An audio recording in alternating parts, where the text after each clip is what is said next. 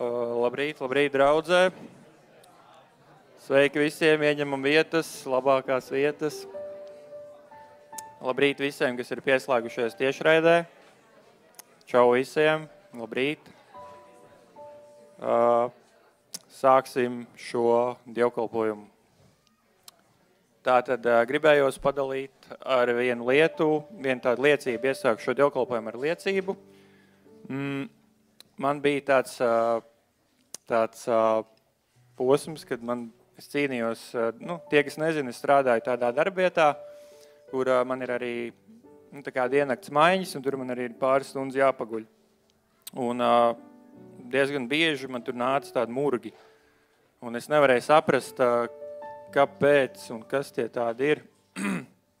un tad uh, es uh, pajautāju vienam kristietim, un uh, man ieteica vienkārši pirms gulētiešanas satvert Jēzus autoritāti, un tā kā Jēzus ar vārdu izdziņa ļaunos garus, vienkārši padzīt uh, visu slikto prom no šejienes un pasludināt, ka šī telpa pieder Dievam. Un es to tiešām tā satvēru un uh, sapratu, ka manī tiešām ir autoritāte, un uh, jā, kopš tās reizes man nav vairs nākuši nevienas sliktas sapņi, nevienas murks, uh, slavu Dievam, un uh, es gribēju iedrošināt jūs uz to, lasot trešo mūzes grāmatu, es domāju, tie, kas ir lasījuši trešo mūzes grāmatu, nu, diezgan daudziem varbūt liekas, kas tur vispār notiek. Tāds upurs, šitāds upurs, asinis, iekšas, jāmazgā, priesterim, jāpienes, liekas, ja kāds vegāns to lasīt, liktos vispār, kas tur notiek. Uh, un uh, es arī tā ilgu laiku nevarēju saprast, nu, kā, kā tik tik asiņains viss tur un vispār ātrāk gribās prom no tās trešās mūzes, ir īpaši tās pirmās četras nodaļas. Bet tad uh, vienu dienu man saslēdzās kopā ar ebrejiem vēstules 7, 8, 9, 10 nodaļu, kur tiek runāts par to, ka mums ir augstais priesteris. Un, uh, vai jūs zinat, uh, kāpēc Jēzus piedzima kūtī? Es to agrāk nebiju aizdomājies. Likās, nu tur pazemīgs un tā. Bet uh, tas arī simbolizē to, ka mums uh, ir piedzimis uh, upuris, dzīvnieku, dzīvnieku, ko agrāk vecajā derībā, kad ņēma dzīvnieks un upurēja par mūsu grēkiem priesteri, tad uh, simboliski arī Jēzus atnāca kūtī, kas simbolizē par mūsu vienīgo upuri. Un uh, man tas tik ļoti tā uzrunāja par to, ka uh, mums ir augstais priesteris, uh, kurš ir viena reize par visām reizēm upurēts, lai mēs būtu brīvi. Un, uh, un tad es tik ļoti novērtēju to, ka man nav vairs jāņemās ar kaut kādām asinīm un kaut kādām tādām lietām, ka vienkārši šī žēlstība ir tik milzīgā. Mēs vienkārši nākam viņa priekšā un uh, Mēs esam atpirkti ar viņu dārgajām asinīm. Vai jūs to novērtējat, un vai jūs to saprotat, un es to biju aizmirsis kaut kādu brīdi, un tad es sapratu, kāda autoritāte man pieder, un ka vispār arī Matei 8. nodaļā, kur Jēzus gāja, pārcēlās no viena krasta uz otru krastu, un, un gāja, un tur bija tie ļaunā gara apsēsti, kas no kapiem iznāca, un tur tā ir rakstīts, ka uh, viņi bija tik briesmīgi, ka uh, citiem aizliedz tur iet. Jēzus vienkārši ņem un iet, un uh, ļaunie gari viņi uzreiz pazīst Jēzu, met, klanās viņu priekšā, saka, kur mums iet ārā, ja tikai mums jāiet. Tad es sapratu, bet ja jau Jēzus priekšā ļaunie gari uzreiz trīc un dreb, tad uh, arī manā priekšā viņiem ir jātrīc un jādreb, jo manī ir Jēzus un tevī ir Jēzus. Un, mūsos ir šis svētais gars, mūsos ir šī autoritāte, lai mēs varētu padzīt jeb kādus murgus, jeb kādus sliktus sapņus, jeb kādas depresijas, jeb ko. Vienkārši pastāvēt uz to, saprast to, pieņemt to. Un, uh, wow, nu, jā, tas ir vienkārši brīnišķīgi to saprast, izprast. Un, un, un tāpēc, uh, jā, lūksim šodien par to, ka mēs dosim visu godu Jēzum, viņa upurim, svētajam garam, un atcerēsimies to, ka mums ir tāda autoritāte. Es Tev pateicos, debes Tēvs, par šo dienu. Es Tev pateicos, ka Tu esi mūsu centrā, ka Tu esi mūsu augstais priesteris. ka tu esi upurēts vienreiz par visām reizēm, par visiem mūsu grēkiem, un mums nav vairāk jācīnās ar kaut kādām vainas apziņām. Es tev pateicos, ka mēs esam svēti, jo es tev pateicos arī par to, ka tiešām tavus vēstules, ko Pāvils rakstīja, kad viņš uzrunāja mūs kā svētus, ka mēs esam svēti. Ja kāds šeit cīnās ar apsūdzību par to, ka viņš nav pietiekoši labs, pietiekoši uh, tāds vai šitāds. Es tev pateicos, Tēvs, ka tu mūs esi nosaucis par svētiem, un tavu asiņu dēļ mēs esam svēti. Un es pateicos, ka ik viens šeit klātesošais to saprot, ka viņš ir svēts, viņš ir dārgi atpirkts ar tavām dārgajām asinīm. Es tev pateicos par to, ka mēs varam skatīties uz tevi kā svēti, tīri un šķīsti, ka mums nav vainas tavu asiņu dēļ. Es pateicos par šo dārgo upuru, par šo dārgo žēlstību. Es tev pateicos, Jēzu, un viss slava un viss gods tev. Es tev pateicos un slavēju tevi Jēzus Kristus vārdā.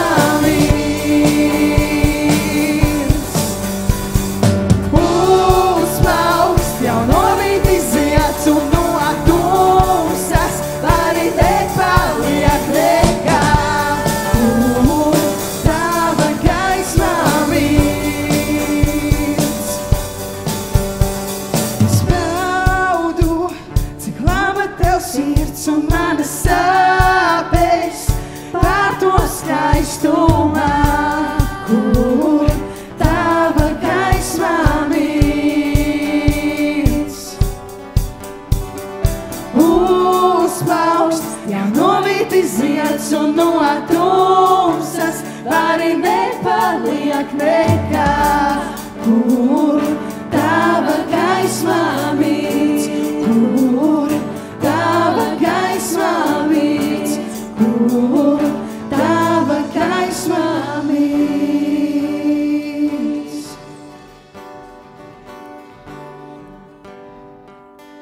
Jā, Dievs, te paldies Tev, ka mēs varam baudīt Tēvs to, cik Tu esi labs, kungs, un uh, Tavs pieskaries mums un uh, jā, nāc un atbrīvo, kungs, un uh, Jā, pieskaries mūsu sirdīm, Tēvs.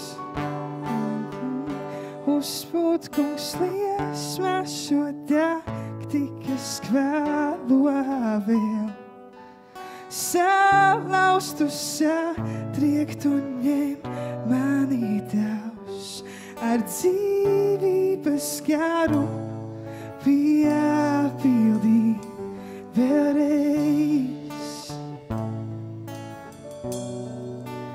kungs, būt kungs, liesmā šo nakti, kas kvēlo vēl. Salaustu satriektu ņem mani tavs, ar dzīvības garu piepildīt.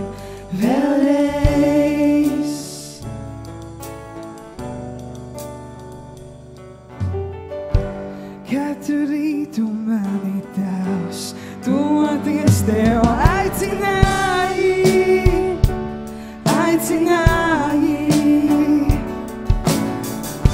Sauci tu pēc manis tavs, tavu mīlestību nepieņēmu, negribēju.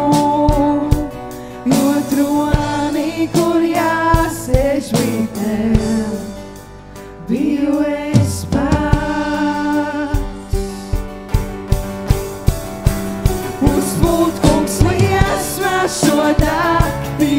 glad.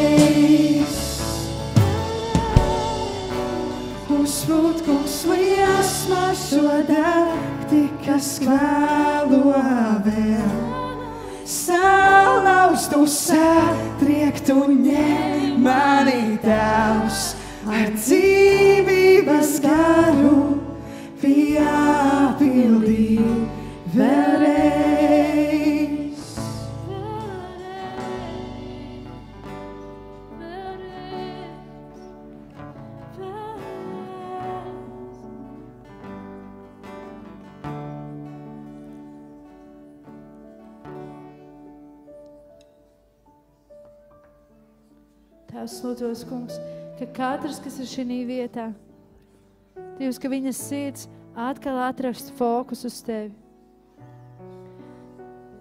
Vienalga, vai, vai tu ej cauri ciešanu ielai, vai arī tu esi apskaidrošanas kalnā kopā ar viņu. Mūsu fokusam vienmēr ir jābūt uz viņu. Labos laikos un sliktos laikos. Mūsu acīm ir jābūt paceltām uz patiesību, uz to, kas ir patiesība.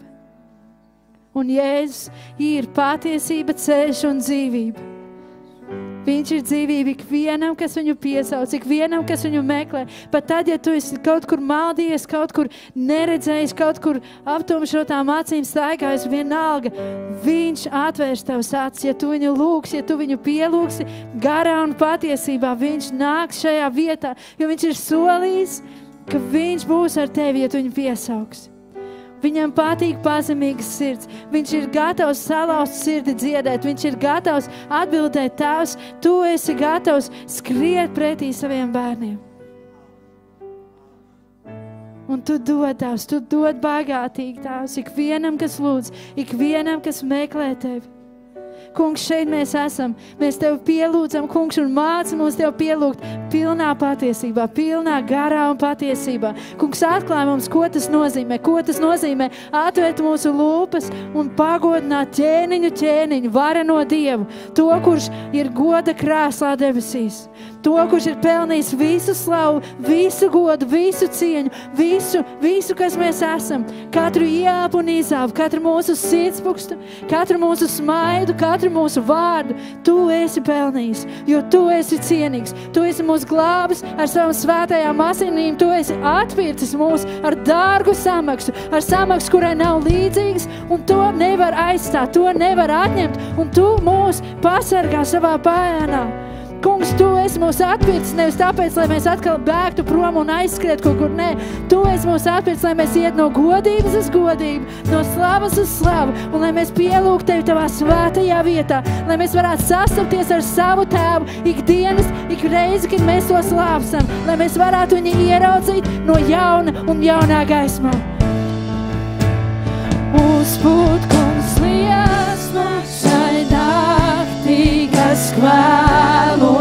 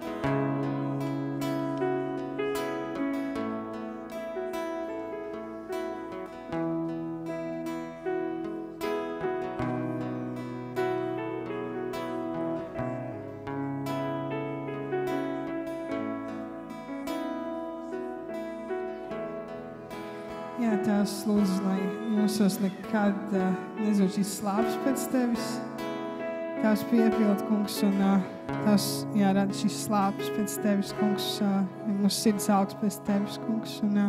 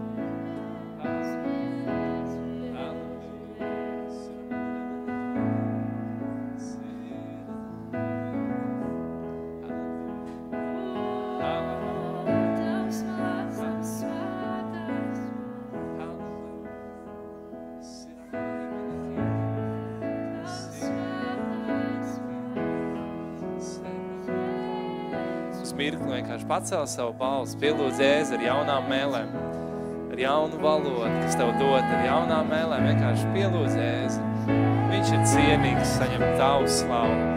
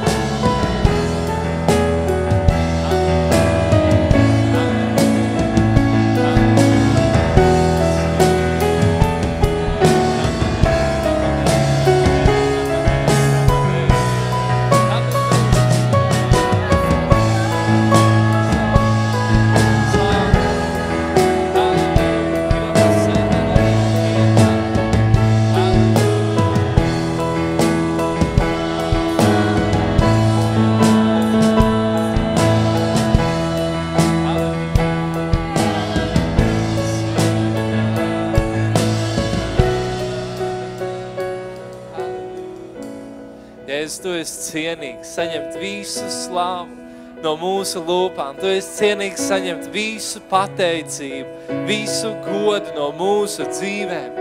Jēzus, tu vienīgais esi cienīgs, un mēs pielūdzam Tevi. Mēs zemojamies Tavā priekšā. Mēs paaugstam Tavu vārdu šajā rītā, šajā vietā, šajā telpā. Mēs, mēs paaugstam Jēzus Tavu vārdu, jo, jo Tu esi vienīgais cienīgs. Mēs mīlam Tevi. Mēs mīlam Tevi. Mēs pielūdzam Tevi. Tev, lai ir gods un slāva, mūžīgi mūžos. Tev, lai ir slāva un gods. Jēzus, mēs pielūdzam Tevi.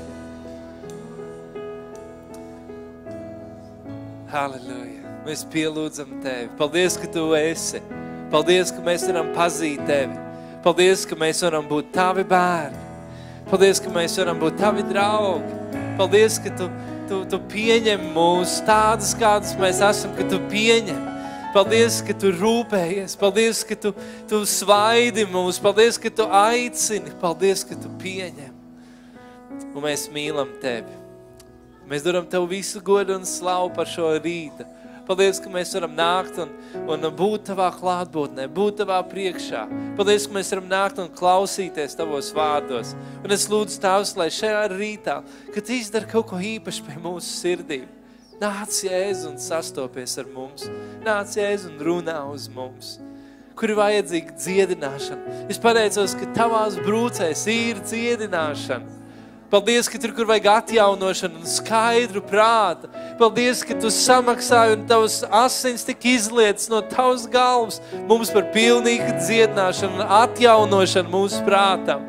Paldies, ka tur, kur ir vajadzīgs kāda atjaunošana, kādās attiecībās, vai kur ir vajadzīgs skaidrs redzējums, kur ir vajadzīga cerība par nākotni, vai kur ir vajadzīga ticība. Paldies, Jēzus, ka tevī Tevī ir atbilde. Paldies, ka Tu esi atbilde arī šodien. Un mēs nākam Tavā priekšā. Nāc un runā uz mums. Mēs Tev pielūdzam, Tev dodam visu godu un slāvu, tāpēc, ka Tu vienīgais esi cienīgs. Jēzus Kristus vārdā. Un visi teica, Amen. Amen. Ja tu šajā rītā atnāci šo vietu, tad uh, viena lieta, kas mums ir jāizdara, kas ir daļa no dievkalpojuma, tev ir jāpaskatās kādam acīs un jāpasaka labrīt. Jāsamīļo kāds, Jāpasaka, ka tev ir prieks kādu redzēt šodien šeit. Sasveicinies ar kādu, iepriecini. Jo šodien mēs esam šeit kopā, nevis atsevišķi. Tā kā labrīt visiem! Labrīt, kas skatās, labrīt, kas ir šeit, un ir forši būt kopā. Bērni dosies uz svētdienas skolu. Te no jums, kam nav kur apsēsties, varat droši atnākt šeit. Te pirmā, otrā rinda, te ir daudz, daudz brīvu vietu šajā pusē. Varat droši nākt, atrast savu vietu, ieņemt. Brīnišķīgi slavēšana, vai ne? Paldies Dievam par slavētājiem.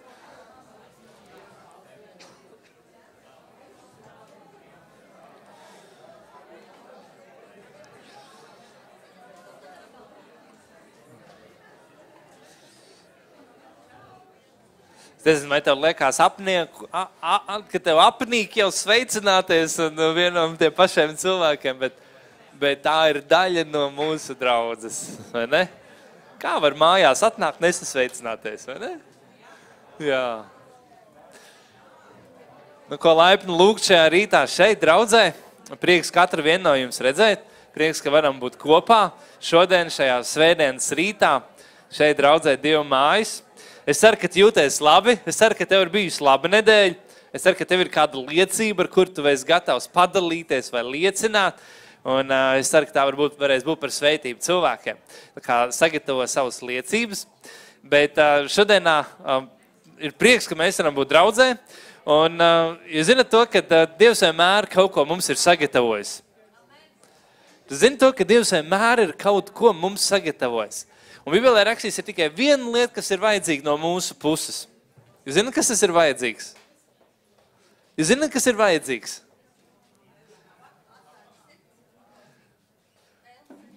Jā, jā, tās ir labas lietas. Jā. Viņš teica, sveitīgi ir izsalkušie un izslāpušie, jo tie tiks pabarot, paēdināt, tie saņems. Ja tu esi atnācis šeit izsalcis un izslāpis pēc Dieva valstības, tad es tev varu apsolīt, viņam ir tāds ēdiens un tāds dzēriens, ko tu neesi piedzīvojis. Viņam ir kaut kas sagatavots priekš tevis. Tāpēc uh, esi gatavs saņemt, esi gatavs piedzīvot, esi gatavs klausīties, un Dievs ir gatavs tev kaut ko dot. Amen!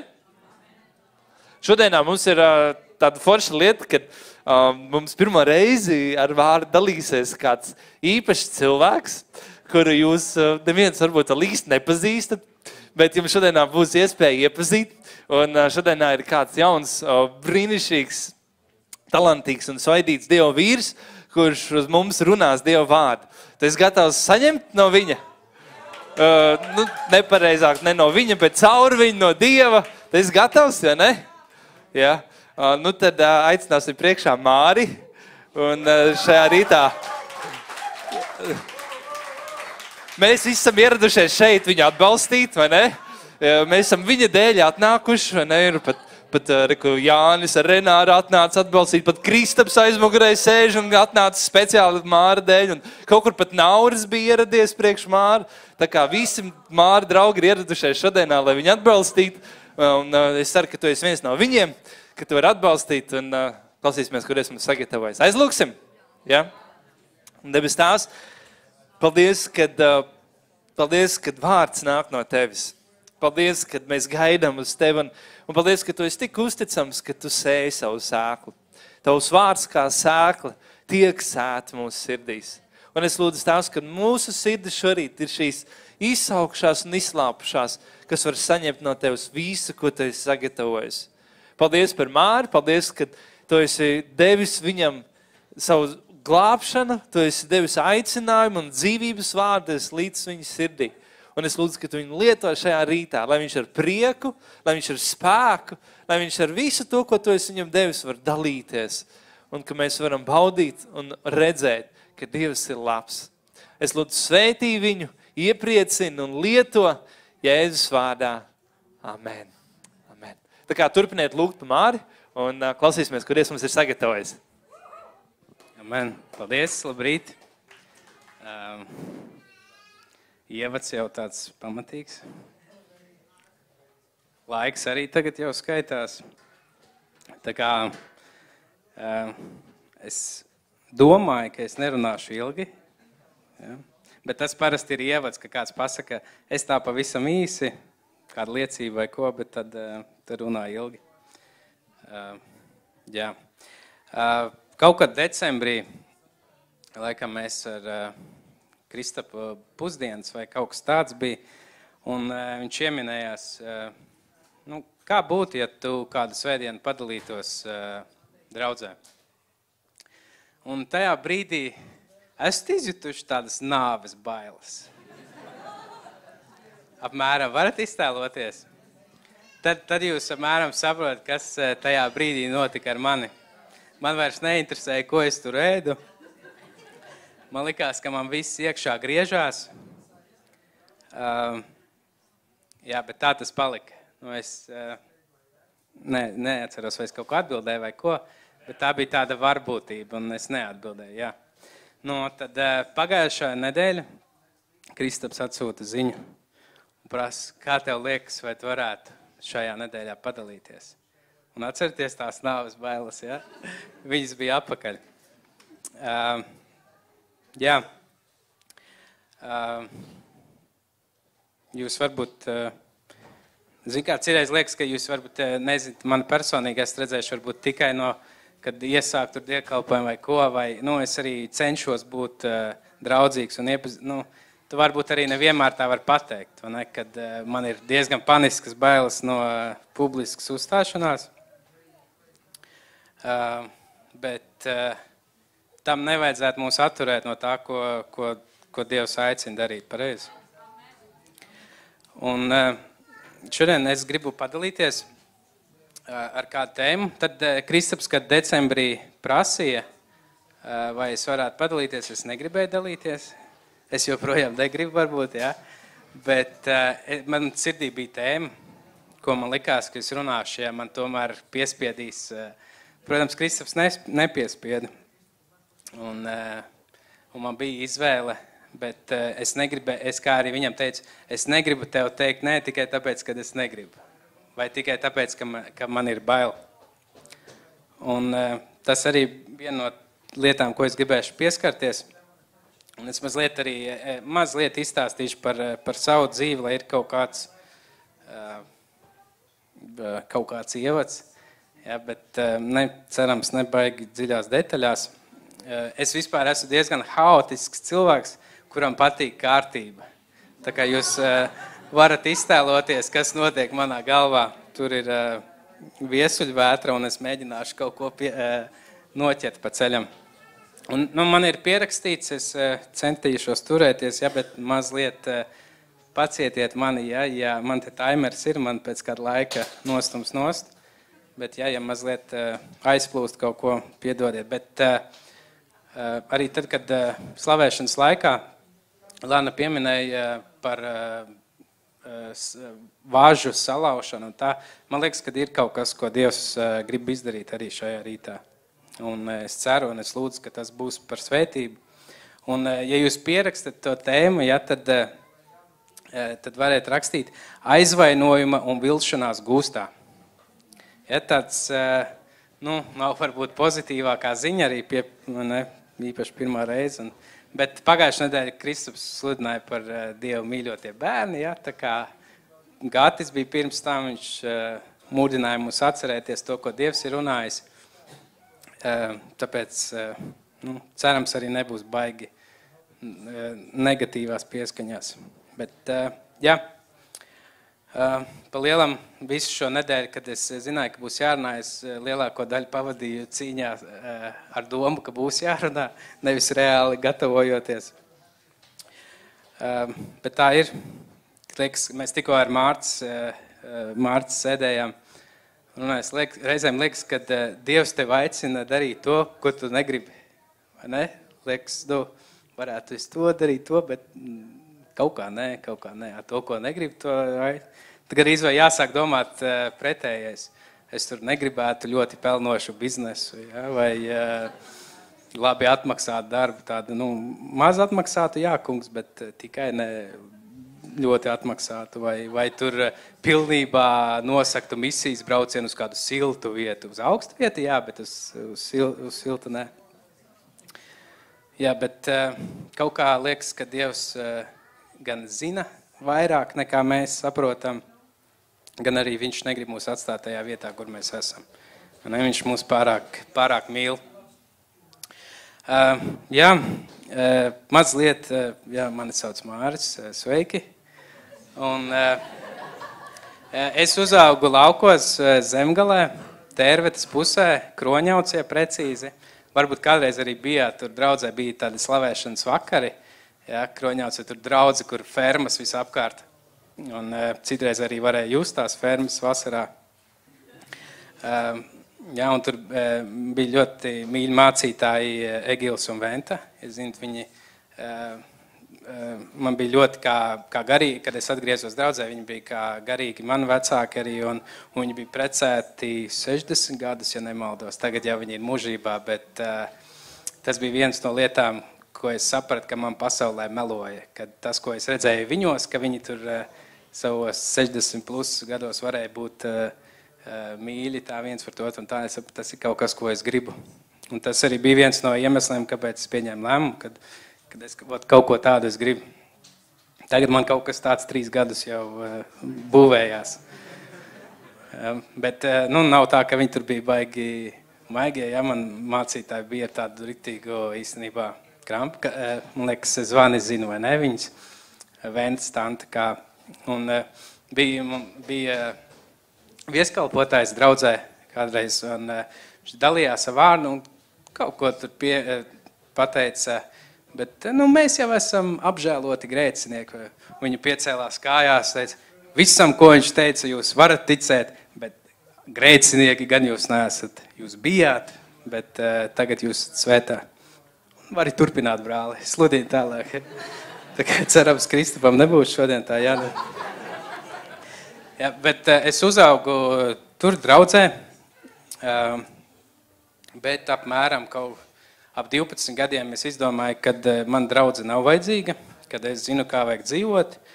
Un, uh, man arī toreiz neņēma jauniešos, jo es biju pa jaunu, bet man visi draugi bija jauniešos. Tā kā man likās, ka uh, nu, jā, nu, tas, tas bija varbūt man vecāka dievs, bet tas, tas nebija priekš manis.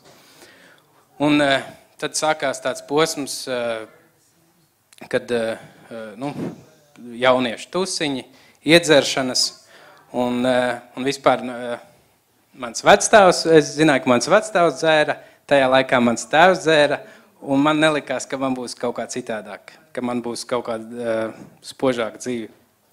Man tas uh, uh, dzimtas koks likās uh, ne, neiedvesmojoši tādā ziņā. Uh, bet Jēzus. Atcerieties, ka viņam ir, viņam ir citi plāni reizēm. Uh, jā, un uh, tad manā dzīvē sākās tāds posms, uh, kad es biju tāds problēma bērns, jo tikai 12 gadi, ja tas nebija tur pilngadīgs nekas, tā kā jūs varat iztēloties, kāda, kāda sirdsāpes es darīju saviem vecākiem, Nu, tas ir viens no iemesliem, kāpēc es arī dalos ar to savu stāstu. Jo man likās, ka man, ka man nav noteikumu, ka man nu, uzliks mājas arestu, vai nu, man vienalga, es pa nakti izlīdu. Nu, kā tu mani noturēsi? Ja? Un, uh, un es, es zinu, ka nu, manai mammai, ar, pie kuras es dzīvoju, tad man vecāki bija šķīrušies. Tas arī man sāpīgi ietekmē. Un es visu laiku centos sev atrast, Es vienmēr gribēju iederēties, un tāpēc es darīju visādas stulbības, tur centos uh, pierādīt sevi, centos uzjautrināt sevi. Un es vienmēr biju tāds uh, jautrais džeks, uh, bet uh, dziļi iekšēji es biju ļoti iztukšots un, un nelaimīgs. Un vienmēr likās, ka vajag kaut ko vairāk, kaut ko vēl darām, kaut ko tā. Un vienmēr man ļoti nepatika būt skaidrā un būt vienam. Jo tad, kad tu esi viens, tad tu esi tikai ar sevi. Tad tu, nu, cilvēki apkārt vai ne tev uzmanība novirzi, bet tad, kad tu esi viens, tad tu satiecies ar sevi kaut kādā mērā. Tad, tur, tad es sap, sat, sapratu, cik es īstenībā esmu nelaimīgs, tukšs un es cenšos kaut ko pierādīt priekš kā, it kā draugi ir, bet tajā pašā laikā es nevaru viņiem izstāstīt, cik man ir grūti, vai es cīnos ar kaut ko, viņi tikai iesmies par to, un nu, turpināsim tu, uh, tusēt. Uh, jā, bet uh, tajā pašā laikā manai mammai bija vārds no Dieva caur uh, kādu sievieti draudzē. Un, uh, tas vārds bija apmēram tāds, uh, es neatceros detaļās, bet uh, visi viņas bērni kalpos Dievam. Un te no es esmu, tur man, man liekas, māsa ir vecākā ar bērnu, un arī tre, trešais bērns, otra mana māsa ir aizdegusies par Dievu. Un es gribu iedrošināt arī vecākus, Iespējams, jums ir jau arī, arī kaut kāds vārds, uz kā jūs varat stāvēt. Es nu, zinu, ka ir kādi, kas lūdz par saviem eh, bērniem, par saviem mazbērniem. Eh, nepadodaties, tas, eh, tas ir tā vērts, un, un, Dievs, un Dievs dara savu darbu. Un, un iedomājies, manai mammai ir tas vārds, un ne, ka mēs visi kalposim. Manas māsas tajā laikā pa diskotēkām braukāja, ja, laukos, laukos nebija klubi, tur bija diskotēkas. Mani citreiz policija mājās atveda, un, nu, It kā liekas, kur tad bija, kurā brīdī viņš sāks kalpot, vai ne? Bet uh, paldies Dievam par viņu žēlstību. Nē, es viņu meklēju, ne man īsti likās, ka vajag, bet viņš apžēlojās un, un te no es esmu. Un uh, bija kaut kāds laiks, kad, uh, liekas, vienkārši uzaicināja apakaļ uz, uh, uz draudzi. Un es piekritu nākt, jo tā es, ne, jūs varat iet, man to nevajag. Un Un, un kā bija, ka es likās, ka es esmu tā, nu, jautrs, viss tā, ne, neviens nekad nezināja, ka man kaut kādas cīņas vai ko. Uh, bet tad, kad es uh, piekritu atgriezties uz draudzi, atnācu un uh, uh, likās grūti to izskaidrot, un tas, ja tu esi personīgi piedzīvojis, tad, uh, tad tu varbūt arī vieglāk to saprast, bet es, man, es likās, ka es pats īsti nezinu, ko es meklēju, bet es biju sajūta, ka tas viss, ko es meklēju, ir pie Jēzus. Kaut gan es pat nezināju, kas tas ir. Uh, jā, tas, tas apmēram uh, īsumā. Un uh, tajā laikā mamma vienkārši turpināja mīlēt. Neko citu īsti viņa teica, nu, vienalga, kur lai es tevi aizvestu, tu būsi pie mēnestiņa. Tas bija tas uh, veikals, kur varēja iepirkties. Ja, un, eh, bet Dievs savu darbu izdarīja, un eh, paldies viņam par to. Uh, labi, un tad uh, tālāk par to tēmu, ko es gribēju padalīties. Uh, mazliet arī par to vispār, kāpēc nu, tas, ko es minēju, kad uh, ne, es gribēju baigt dalīties, nē, uh, bet uh, man liekas, ka mums uh, katram vienam no šodien, ko es gribētu jūs aicināt, ieskatīties, līdzīgi arī kā Gatis pirms uh, divām nedēļām, uh, pacel augšā tās lietas, ko Dievs ir uh, runājis uz tevi. Vai nav tā, kad, uh, kad tu esi atļāvis uh, bailēm tevi atturēt no tā, ko Dievs ir runājis? Un es pāris kaut kāds punkts tīri par to, kā, kāpēc es izdomāju paklausīt par spīti bailēm. Un viens, viens no tā ir, kad es esmu šajā draudzē un es uh, cienu uh, savus vadītājus, cienu tos, ko Dievs ir uh, ielicis šajā draudzē. Un, tīri varbūt praktiski tas ir viens no tādām, ja, ja es nejūtu vai kā, tad reizēm Dievs arī izmanto viņus, lai mūs pastumtu mazliet tā iespērti, ja, ja, nu, ja mēs esam mazliet aizsēdējušies vai kā. Un agrāk, kad Kristus prasīja, vai, vai, tu, vai tu gribētu iesākt dievkalpojumu? Es saku, negribu, bet ja vajag, es iesākšu. Un uh, tagad viņš man neprasa, vai es gribu, viņš vienkārši, vai tu varēsi. Ja. Un, kad, kad es vienkārši šeit tiem punktiem cauri paskaties, pa, pa, paķidā savu sirdi, Nav tā, ka es baiga, baigais sludinātājs un uh, ka es wow būs. Ja? Nu, Bet, eh, bet es esmu pārliecināts, ka, ja Dievs kaut ko liek, arī sirdi nav tā, ka nejauši. Ka man vienkārši, vienkārši ka Dievs var lietot arī mani. Ne? Nu, tevi. Uh, jā, un tāds vēl princips. Uh, ja, ja, ja mēs, ja mūsu garīgajā dzīvē neizaicina un uh, nav kaut kāda izaicinājuma, kaut kādas lietas, kas mums mazliet biedē, tad ir jāpadomā, vai tu neesi aizsēdējies, vai, vai, vai kaut kas. Jo tā, tā ir tāda bīst, uh, bīstama pozīcija, kurā būt. Uh, jo es, piemēram, tad, kad pie, piedzima mums bērns, ir ļoti viegli paslēpties tajā bērnu istabā. Nu, man ir it kā attaisnojums, vai ne? Man, un tad reizēm tāds, vai es dzirdēju vispār, ko sludināju, vai ir, eh, bet eh, mēs ar Renāru kaut kad runājām, kā ir tad, kad tev tik vien, nu, kā jāiesāk tas diekalpojums, kad tev paprasa iesākt, kā tu dzīvo to nedēļu, kā tu tur mēģini neko baigi jā, nesabojāt, tur dzīvo tā kārtīgu dzīvi. Tu tur iespringsti, ja, lai nu, jāpalasa kaut kas, jo ko, ko es tajā rītā teikšu, ne?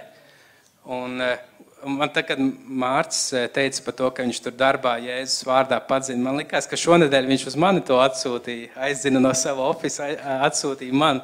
Un kaut kādi murgi bija, es tur domāju, kā, kā tas vispār, nu, kāpēc, nu, ir tik labi, es atbraucu, aizbraucu, viss kārtībā, kāpēc Kristapam ļoti labi sanāk sludināt. Un, bet uh, tur, tur ir tas, ka viens ir, eh, kas mums ir svarīgi garīgajā dzīvē, ka mēs nepazaudējam izaicinājumus, kas mūs izaicina, un ka mums ir jāuzņemas atbildība.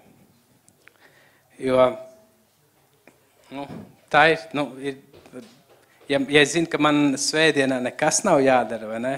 Nu, Ja, nu, protams, ne, ne tā, ka es tur kaut ko, vai ne, bet uh, tīri tā, ja tev ir atbildība par kaut kādu kalpošanu, pret ka tu tajās dienās, kad tu gribi, negribi, nu, tev tāpat jādara. Un tas mums ir ļoti svarīgi, jo tas eh, audzē mūsu raksturu, tas veido mūsu. Un, uh, un es arī nesaku, ka tev visur ir jāsaka jā. Jā, te bieži par svētdienas skolu vai kā, nu, varbūt ir jāsaka. Bet kāpēc tu saki nē? Vai tas nav tāpēc, ka tu baidies? Jo nu, reizēm tās bailes mēs tādas garīgas ne, esam uztaisījuši. Nu, nu, jā, kur, ko es tur un tāda kā pazemība, vai ne? Bet tas tāpat ir es, man, mani, nesvētā trīsvienība, vai ne? Tas ir, eh, ko tad es, kā, kā es izskatīšu, ko par mani padomās. Un reizēm liekas tie, kas tur iedomīgi vai kā, ka tādi egoistiski, ne? bet nu, tajā pašā laikā, tā, ko mēs mēģinām reizēm par tādu pazemību eh, veidot, tas, eh, nu, vai tas tiešām ir tas, vai tā tiešām ir pazemība. Ja tev Dievs ir teicis kaut ko, jau, tu, tu jau savā sirdī, tu jau man, mani var piemānīt savu, pat, eh, mēs pat sievu nevarētu piemānīt, bet tu sevi nevar piemānīt. Tu zini, kas ir tās lietas, ko Dievs ir līdz tavā sirdī. Tu zini, kas ir tādas lietas jau, kas Protams, ja tu to visu laiku apspied un tā, nu, kaut kad jau tas iespējams arī pazudīs, tev vairs tur uh, skaļi uh, tavā sirdī nerunās. Bet, uh, bet jā, kāpēc, kāpēc tu atsaki, piemēram, ja tev prasa kaut ko draudzē vai ko? Nu, ja, ja tas tāpēc, ka ir bail, vai tas ir pietiekami liels iemesls? Un man pierakstīja divi citāti, kas man patika. Eh, par, eh, par bailēm, par drosmi. Un viens tāds, ko nozīmē drosme? Drosme nozīmē, ka tu esi līdz nāvei pārbījies, bet tu tāpat apseglo zirgu. Apseglo zirgu kaujai. Tu tur trīci, tu, tu, nu, tu, nu, piemēram, nu, kaut kā jārunā vai ne? Tev bail, tu tā, bet tāpat gatavojies, tāpat tu iesi, tu ar trīcošām kājām, bet tu iesi. Tu zini, tev tur jākalpo, bet uh, tu, tu, nezini, kā. Tu ne, mm, mm, mm, tik daudz vis kaut kādi iemesli, attaisnojumi, bet uh, tu tāpat zini, ka tev jāiet cīņā. Tu zini, ka ir kaut kādas lietas, ko Dievs ir runājis, ko Viņš ir aicinājis. Tu nezini, kā tu baidies, bet tu sāc darīt. Tu sāc darīt. Un uh, vēl viens uh, citāts. Es laikam nav svarīgi, kas tos teica, jo tagad liekas, internetā tur kā citāts ir, bet tu skaties, ka 5, 6 dažādi vārdi viņi teica, tad beigās nesaprotu, kurš viņus tad īsti ir teicis, kam viņi var pielikt. Bet viens ir uh, Kristis Valatons, kas arī laikam nākamnedēļ būs ja, Latvijā. Uh, drosmīgi cilvēki nav bezbailīgi. Tie ir cilvēki, kas atsakās ļaut bailēm teikt, ko tiem darīt. Un bieži tas, ko Dievs tev paredzējis, atrodas otrpus, otrā pusē tam, ko tu visvairāk baidies. Um, jā. Un, uh, kad bija par, uh, par apsolīto zemi, cik daudziem Dievs teica, ka Viņš ievedīs viņus apsolītajā zemē? Tur bija diezgan daudz, vai ne? Bet cik reāli iegāja? Cik bija? Bet tas nozīmē, ka tas vārds bija slikts. Droši vien, ka nē, vai ne? Un uh, šis nebija slikts. Bet viņiem nebija tā drosme darīt to, ko Dievs aicinājis darīt. Un, uh, ja ir kaut kādas lietas, nu, tu esi kaut ko varbūt paslēpis vai ko, un kā bija pirms tam divām nedēļām gads, nu, davai, nāc priekšā Davai lūksim par to. Kas, kas tā ir? Da davai, nu davai, nu daram, iekustamies. Un, eh, ja tu esi mēģinājis cīnīties nu viens vai ko, vai nu, atrod brāli māsu, kurš var aizlūgt, kurš, eh, kurš var iedrošināt.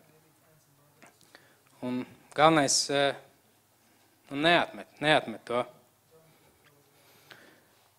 Un, un viens tāds pēdējais punkts, kas man ir, kāpēc darīt to, pat eh, ja bail.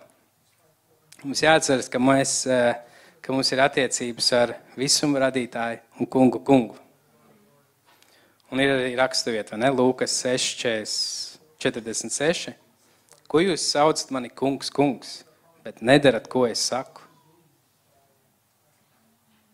Un reizēm, nu, Mēs dziedam, ne kungs, kungs, un tā, bet nu, ir kaut kas vienkārši lietas. Vai arī dziedam tur, es iešu līdz pasaules malai, ja, kā tā dziesma ir.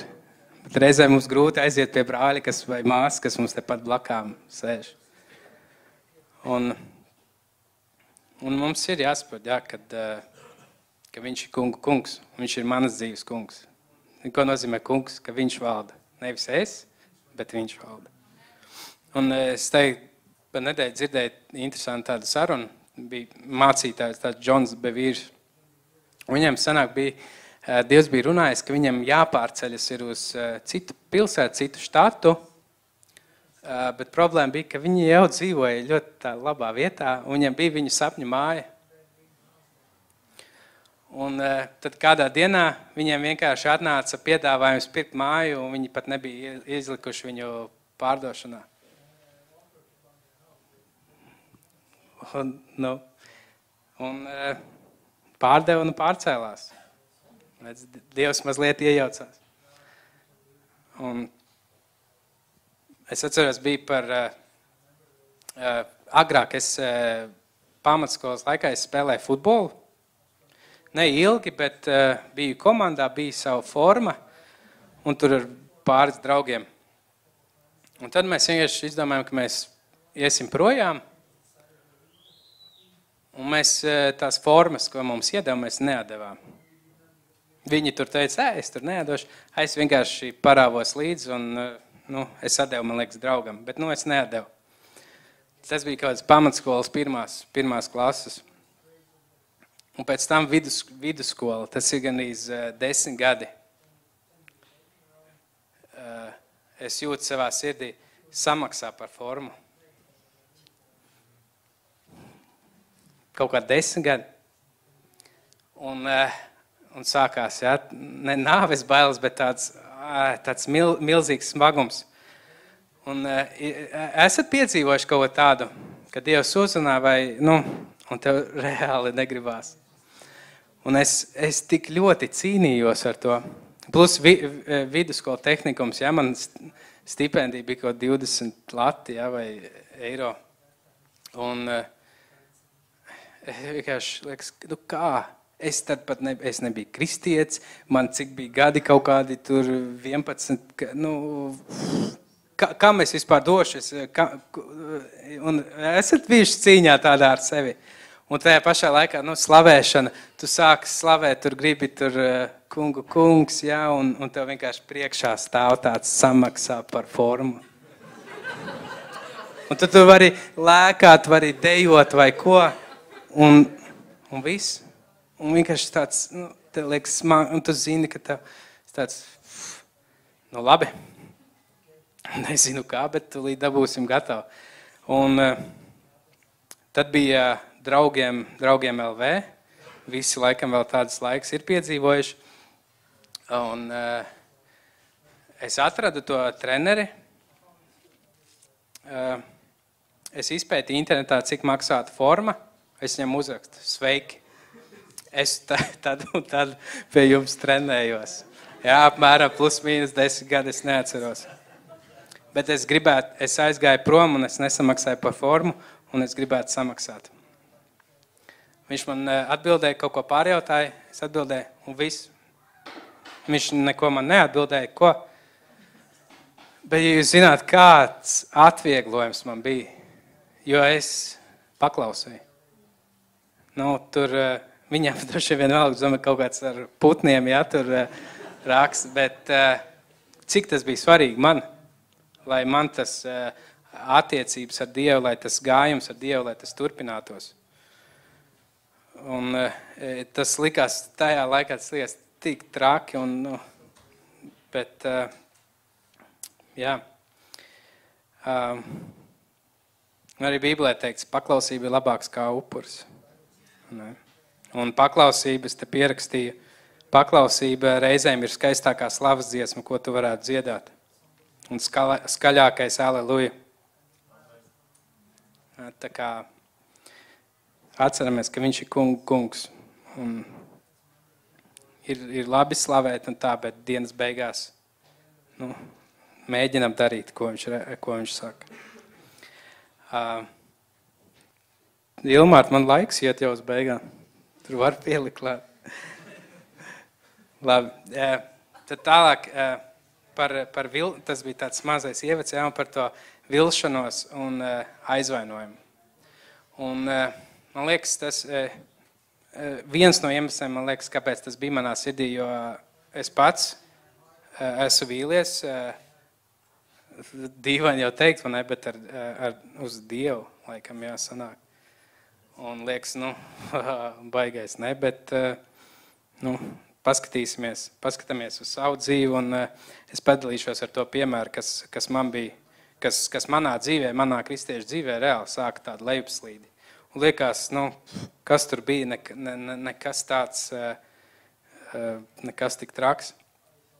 Un, eh, un padomājiet arī, reāli, es tā, nu, domājot, es ievēru prasīju, liekas, nu, tāda vilšanās un aizvainojuma ir diezgan liels iemesls, kāpēc uh, uh, cilvēki arī aiziet vai no draudzes, vai no, uh, vai no Dieva. Un, ja jūs padomājat, nu, paskatieties, uh, kuri kādi tie cīņu biedri, ne, kas jau ilgākus gadus esat kristieši, ar kuriem nu, kādreiz dedzīgi kalpojāt, dedzīgi uz draudzi gājāt, vai ne, kad, kad ir, ir, ir kādas lietas, kad, kad cilvēki ir aizgājuši. Kaut kas nav noticis eh, tā, kā viņi iztēlojās, vai, vai viņi vīlās kaut kādās lietās. Un tāpēc man likās diez, diezgan svarīgi arī tā tēma, Um, un, ja tu pieraksti, ja tu gribi pierakstīt, pieraksti šo.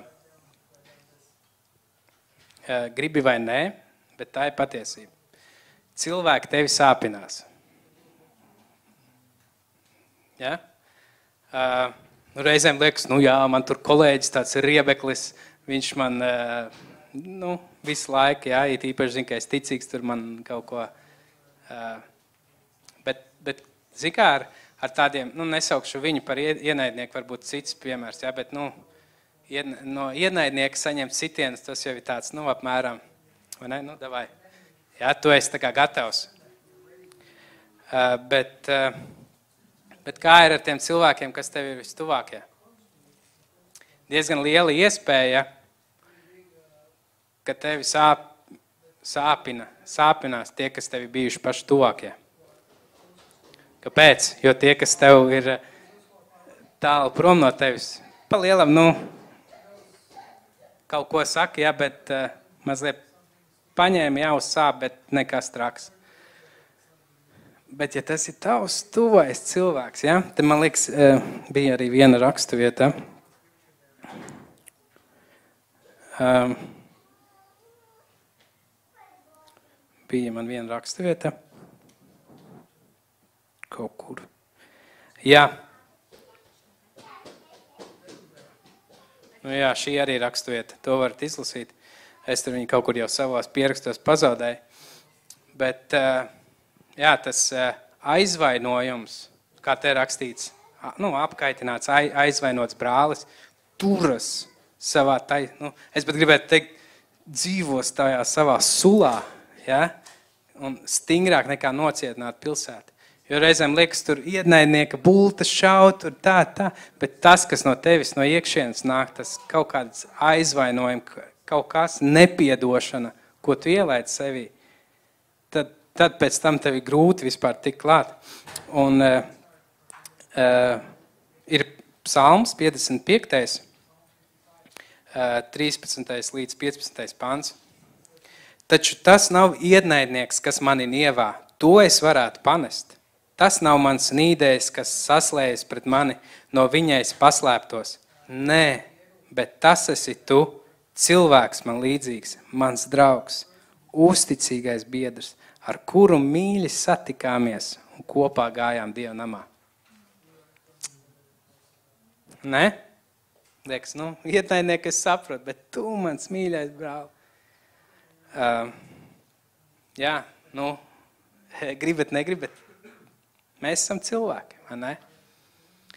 Un uh, liekas, uh, liekas, kas tur, uh, nu, ja, ja mūs aizvaino vai ne? Kāds, mēs tur jau visu kaut ko, jā, es zinu, kāpēc viņš tā darīja, nē, es pirmais, ko viņš aizvainojas, tur tā, tā, bet ja mēs kādu aizvainojam, vai ne, mums jau, mēs ļoti labi varam attaisnot savus motīvus, ne, nu, pf, es jau negribēju, nu, ko tad viņš tā, nu, es, es taču ļaunu negribu, vai ne, uh, bet, jā, nu, tāds, lai, lai tev nav pārsteigums, jā, nu, arī draudzē, ir, ir iespēja, ka tevi aizvainos. Liekas, nu, nu jā, nu jā, bet nevajadzētu. Un, nu, jā, bet, bet gadās. Un zini, kad negadās, ja neko nedara. Nu, bet, bet draudzē mēs, nu, mēs darām, mēs mēģinām, ne? Arī mūsu vadītāji, viņi mēģina, viņi dara. Un tur, nu, bet man nepasveicināja no rīta. Es biju atnācis aizlūgt pēdējais, bet viss mācītājs aizgāja. Ja, tā liekas sīkuma, ne? bet nu, reizēm arī tie. Bet, protams, ir, un, ir, ir, ir arī dziļākas lietas. Un, eh, un, un mums jau pamatā nevajadzētu meklēt kaut kādu cilvēku atzīšanu, jo nu, tā ir. Nu, cilvēki mūs var, eh, var sāpināt. Vienu dienu mēs arī varam būt topā, otrā dienā nu, varbūt neesam vajadzīgi. Un tāpēc neliec savu cerību uz, uz cilvēku jau pamatā. Jā, reizēm gadās nu, nomainās uh, mācītājs vai vad, un, un, un viss nu, apstājās. Tavu kristietība beidzās, pēkšņi izrādās.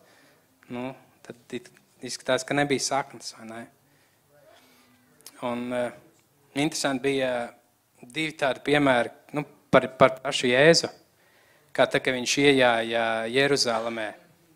Cilvēki tur klāja, tas bija, ja gribat palasīt, Mateja 21. nodaļā. To varbūt var arī nelikt, lai, lai iet uz priekšu. Man tikai 14 sekundes palika.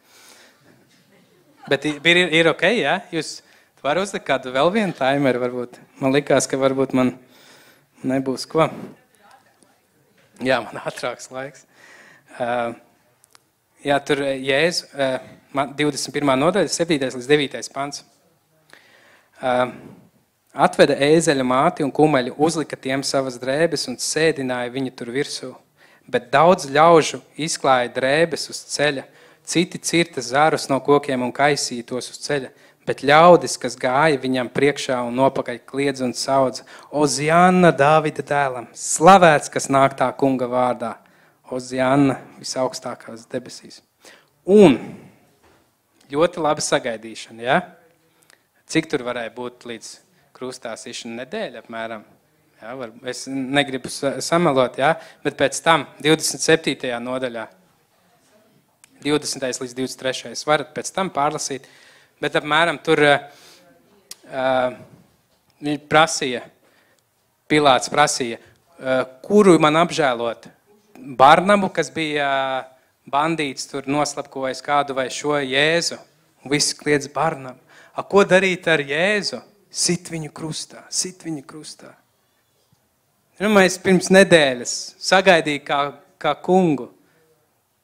Un pēc tam Un līdzīgi bija apstuļu darbos 14. nodaļā. Palsi, tur bija Pāvils ar Barnabu. Viņi sludināja evaņģēlī, tur zīmes, brīnumi notiek. Un, un tie cilvēki tur teica par, par Pāvilu, Dievi kļuvuši līdzīgi cilvēkiem un nokāpuši zemē pie mums. Un viņi tur gribēja upurēt, jau nesa tur lopus, gribēja upurēt. Viņi tur, ko jūs darat? Nē, nē, mēs tikai Jēzus vārdā. Bet viņi dievi atnākuši pie mums, ne pie, pie, pie, pie pagāniem. Un pēc tam, pēc kāda īsa brīža, jūs lasat, ir interesantā nodaļa. Uh, viņi tur ar pūlēm vispār savaldīja, lai viņiem neoperētu. Un tur 19. panā pantā, bet no Antiohijas un Ikionijas atnāca jūdi, pierunājuši ļaudis, apmētājuši Pāvilu ar akmeņiem, vilka to ārā no pilsētas, domādam, ka viņš mirs. Kāpēc pā, nu, es nezinu, cik tas dzīvē, ja, bet pāris pantos, vienā pantā tu esi Dievs, otrā tevi nometā ar, nometā ar akmeņiem. Tāpēc tas tāds mans atgādinājums, nu, nepaļausimies uz cilvēkiem cilvēks nav tavs glābējs. Jēzus ir tavs glābējs. Um, jā. Un uh, reizēm mēs ar savu sagaidīšanu, ar savām expectācijām par kaut kādu perfekto scenāriju sevi sagatavojam principā vilšanās vai, vai, vai kritienam. Un uh, Saprotiet, pareizi. Es ne, e, negribu teikt, ka mums nevajadzētu būt e, augstām, augstām gaidām. Ne? Bet reizēm mums liekas, ka mēs, esam, mēs jau zinām, kā vajag. Es visu esmu perfekti iztēlojies. Man pieredze tomēr ir. Un, e, un mēs aizmirstam, ka kaut kas var reizēm arī nu, nebūt tā, kā gribam. Cirreiz vispār mums liekas, ka mums tā kristiešu dzīve ir tāds kā priekpilns, bezrūpīgs tāds skrējiens pa puķu, pa ļavu tādā galopiņā, ka viss ir skaisti, viss tā. Un, eh, un tev ir tāds pārsteigums, ka tev kāds sāpinājis, kāds kaut ko pateica. Man liekas, ka es esmu draudzē taču, vai ne? Bet, eh, nu, kā jūs mājās dzīvojat, kādreiz ar sanāk? Miša, получается? Šeit tad vai ne mājās? Nu. Un, un draudzē mēs ar kā Kristus te mēs esam nu, mājās. Un dažreiz sanāk.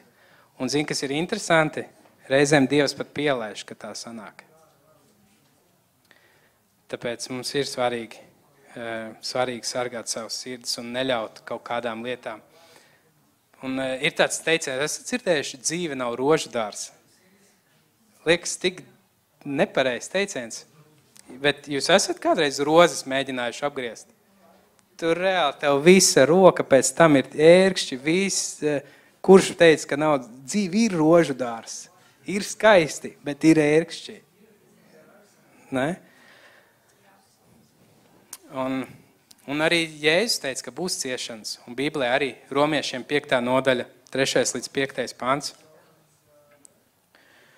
Bet nevien par to mēs teicam sevi laimīgus arī savās ciešanās, zinādam, ka ciešanas rada izturību, izturību, pastāvību, pastāvību, cerību. Bet cerība nepamet kaunā, jo mūsu sirdīs izliet Dieva mīlestība ar svēto garu. Es, nu, reizēm mums vajag ciešanas. Kā, mēs, kā mēs būsim izturīgi bez tiem izaicinājumiem, bez atbildības? Kā mēs augsim? Kā, kā tu iztēlojies, kā tu augsi savā dzīvē, savā vienalga, karjerā vai ne? Nu, tu arī tev kādā brīdī tev tavs darbs var palikt, eh, nu, kad tu vienkārši nāc vai ne? Un ļoti bieži tad arī cilvēki maina darbu, viņiem gribās jaunu izaicinājumu. Un tā arī man liekas, ka Dievs mums ir radījis, nu, ka mums ir jāaug. Mēs nevaram vienmēr dzīvot uz piena vai ne? Mēs eh, savam bērnam arī vairs knupi nedod. Bija brīdis, ka vajadzēja, vairs, vairs nevajag. Un eh, Jēzus teica, 6, eh, Jāņa 16, 33. To visu es esmu runājis uz jums, lai jums miers būtu manī. Pasaulē jums ir bēdas, bet, ļoti spēcīgs, bet, turiet droši prātu, es pasaulē esmu uzvarējis. Ja, bet, eh, nu, it kā pārsteigumam nevajadzētu būt. Pasaulē būs bēdas. Ja. Protams, tagad tas tāds, nu, jā, jums būs, jums būs, vai ne, kāds sāpinās, kāds sāpinās, ne, bet, uh, es cenšos nodot to, kas manā uh, tornādo galvā. Ja, ne, liekas, ka tu, ja tad, kad tu klusi sēdi savā vietā, tev liekas, ka tu visu zini, tu zini, kā pateikt, vai ne? Tad, tad kad tu atver muti, ko es tikko pateicu, vai ne? Bet, jā. Un uh, viens, ko es uh, par savu, man, manas ģimenes vilšanās stāstu. Sākumā es pateikšu labo piemēru, tas ir manas sievas sievas piemērs. Viņa ir eh, ārsts, dakteris, un eh, tad, kad viņa pabeidz tos sešus gadus medicīnas, kas ir tās pamata studijas, viņa izvēlās to virzienu. Jā, seši, seši, seši gadi, tāds mazais, mazais ievadiņš medicīnā, seši gadi no tavas dzīves. Un, uh, un tad viņiem ir, uh, es negribu samalot, jūs varat droši viņai, viņa man liekas arī ir dalījusies, ja? Un tad viņi izvēlās to specialitāti. Un manas sievas gadījumā viņai, viņai uh, uz divām iestājās. Uh, man liekas, ka ģimenes ārsts un pēdējais kaut kas tāds. Sešus gadus mācījās un netika. Nekur netika. Dievs, kāpēc? Seši gadi. Un eh, tajā laikā, nu, kā viņi izstāstīja, viņai, tāpēc es saku, viņai ir labais piemērs. Es būšu sliktais piemērs. Ja? Tā parasti ir mūsu ģimenē. Uh, viņai, viņa toreiz bija pie draudzenes, Esteras, un uh, ko viņas darīja? Viņas aizlūdza. Ja? Ok, Dievs, tā notika, bet es tev uzticos. Ja? Un, un te viņas brauca kalpot uh, uz uh, Eh, Bauskaitā live konferenci. Kalpoju tur eh, mācītājiem, ko, un viens mācītājs prasa, vai es varu aizlūgt par tevi. Un eh, aizlūdzu, un viņš pravietoja kaut kas tāds apmēram, neuztraucies, būsi tai vietā, kur vajag. Es to sagatavošu. Un man te vēl pierakstīts, forši, ka ir tādi cīnītāji biedri ne? ka tev ir. Kā citreiz ir, ir kāds brālis, māsa, kam varbūt nevajag prasīt palīdzību vai teikt par savām bēdām, vai ne? Kad varbūt, ui, man tāpat bija, un, un, un. bet vajag, ka tev ir blakām kādi, kas tev var iedrošināt un pateiks, davai, aizlūksim. Dievs joprojām ir dzīvs, un viņš, eh, viņš tur savās rokās. Uh, jā, un kas notika pēc tam? Uh, lai sieva man piedod, negribu samelot, bet var teikt īsumā viņai piedāvāja vietu. Kaut uh, bērnu neirologs, ja viņa teikt. Un pat pa profesori. Ja, un, Liekas, zini, tas brīdis, seši gadi, un tik daudz tu varēji paspēt, zini, kā, kad tev, tev atnāk paziņojums, nekur neesi ticis. A tu palien, nu, zini kā, es, piemēram, studēju tur biznesa vadību. Nu, tas tāds gaistošs jēdziens, plus mīnus tev eh, kaut kur dzīvē nodara, kaut kur, nu, vienkārši vajadzēja augstāko, vai ne, kā bieži. Uh, bet, nu, mediķiem tas ir diezgan daudz, tas ir, pat gribās teikt, arī, arī aicinājums, vai ne, nu, tāda diezgan liela daļa no viņiem, un tas ir daudz sāpīgāk. Uh, jā, bet, bet tas ir tas labais piemērs. Un uh, tagad, tagad mans piemērs, diemžēl, sliktais. Arī līdzīgi ar, uh, ar uh, pēc studijām. Uh, un es atceros, parasti bija tādi līdzi, nu, mani vienaudži vai ko, vai ne, arī, kas tur taisīja, pabeidz vidusskolas, vai ne, un tā kā nezinu, ko darīt tālāk, un man bija tāds, es zināšu, ko darīt. Tas kungs man jau sakārtos visu, un es jau zināšu. Un es eh, pat nezinu, no kurienes, bet, eh, nu, nezinu, no kurienes, bet eh, tajā laikā man bija parādījusies tāda liela vēlēšanās un tāda pārliecība, ka es pēc vidusskolas braukšu uz Ameriku uz Bībeles skolu. Es baigi aizdedzies par to. Bet atcerieties, ka es no laukiem nāku, ja tur mazliet arī citādāk. Piemēram, tagad, eh, eh, tagad mēs tur uz misijas braucienā braucam, mēs tur ievārījām, uztaisījām, savācām naudu, vai ne? Bet laukos ir tā, nu, tu, tu, īsti, pat nezini par tādiem variantiem, ka tu varētu kādam prasīt naudu, vai kā, nu, tur tāds, ja Dievs tev nedod, tad tu nebrauc, jo man nav, naudas nav. Un tajā laikam likās, nu, jā, bet Dievs jau sakārtos un, un, un viss tur būs. Un, pienāca, pabeidz vidusskolu, un es nezināju, ko darīt. Pārsteigums, vai ne? Un es teicu, pats, Dievs, bet kur ir mana bībeles skola, kāpēc es gribu tev kalpot? Es tur, zin, kā saskaties video, kā tur notiek, viss tur jau iztēlojas. Tu iztēlojas, kā tu tur būsi, kā tu tur kalpos, tur visu, jā. Un ne tādu bildi, tādu gleznu skaistu esi uzzīmējis. Un viss. Nu, labi, nu, ko darīt? Eh, ies, eh, ies, iesniedz dokumentus eh, augstskolā. Un arī konkurss baigais uz to vietu, kur es gribēju. Un, un, un brīnums netika. Un tā man nu, tā kā turpinājās. Kaut kas tu paņem pie sirds, kaut kas nākamais. Un ļoti interesanti. Tev liekas, oi, Dievs, ja tu man to brīnumu darītu, vai tas būs tāda zīme, es tev, es tev tā kalpošu. Bet mana vilšanās notika brīnumā. Es saņēmu brīnumu reāli, un tajā pašā laikā es vīlos Dievā. Tu, tu, kā to vispār var būt gatavu, vai ne?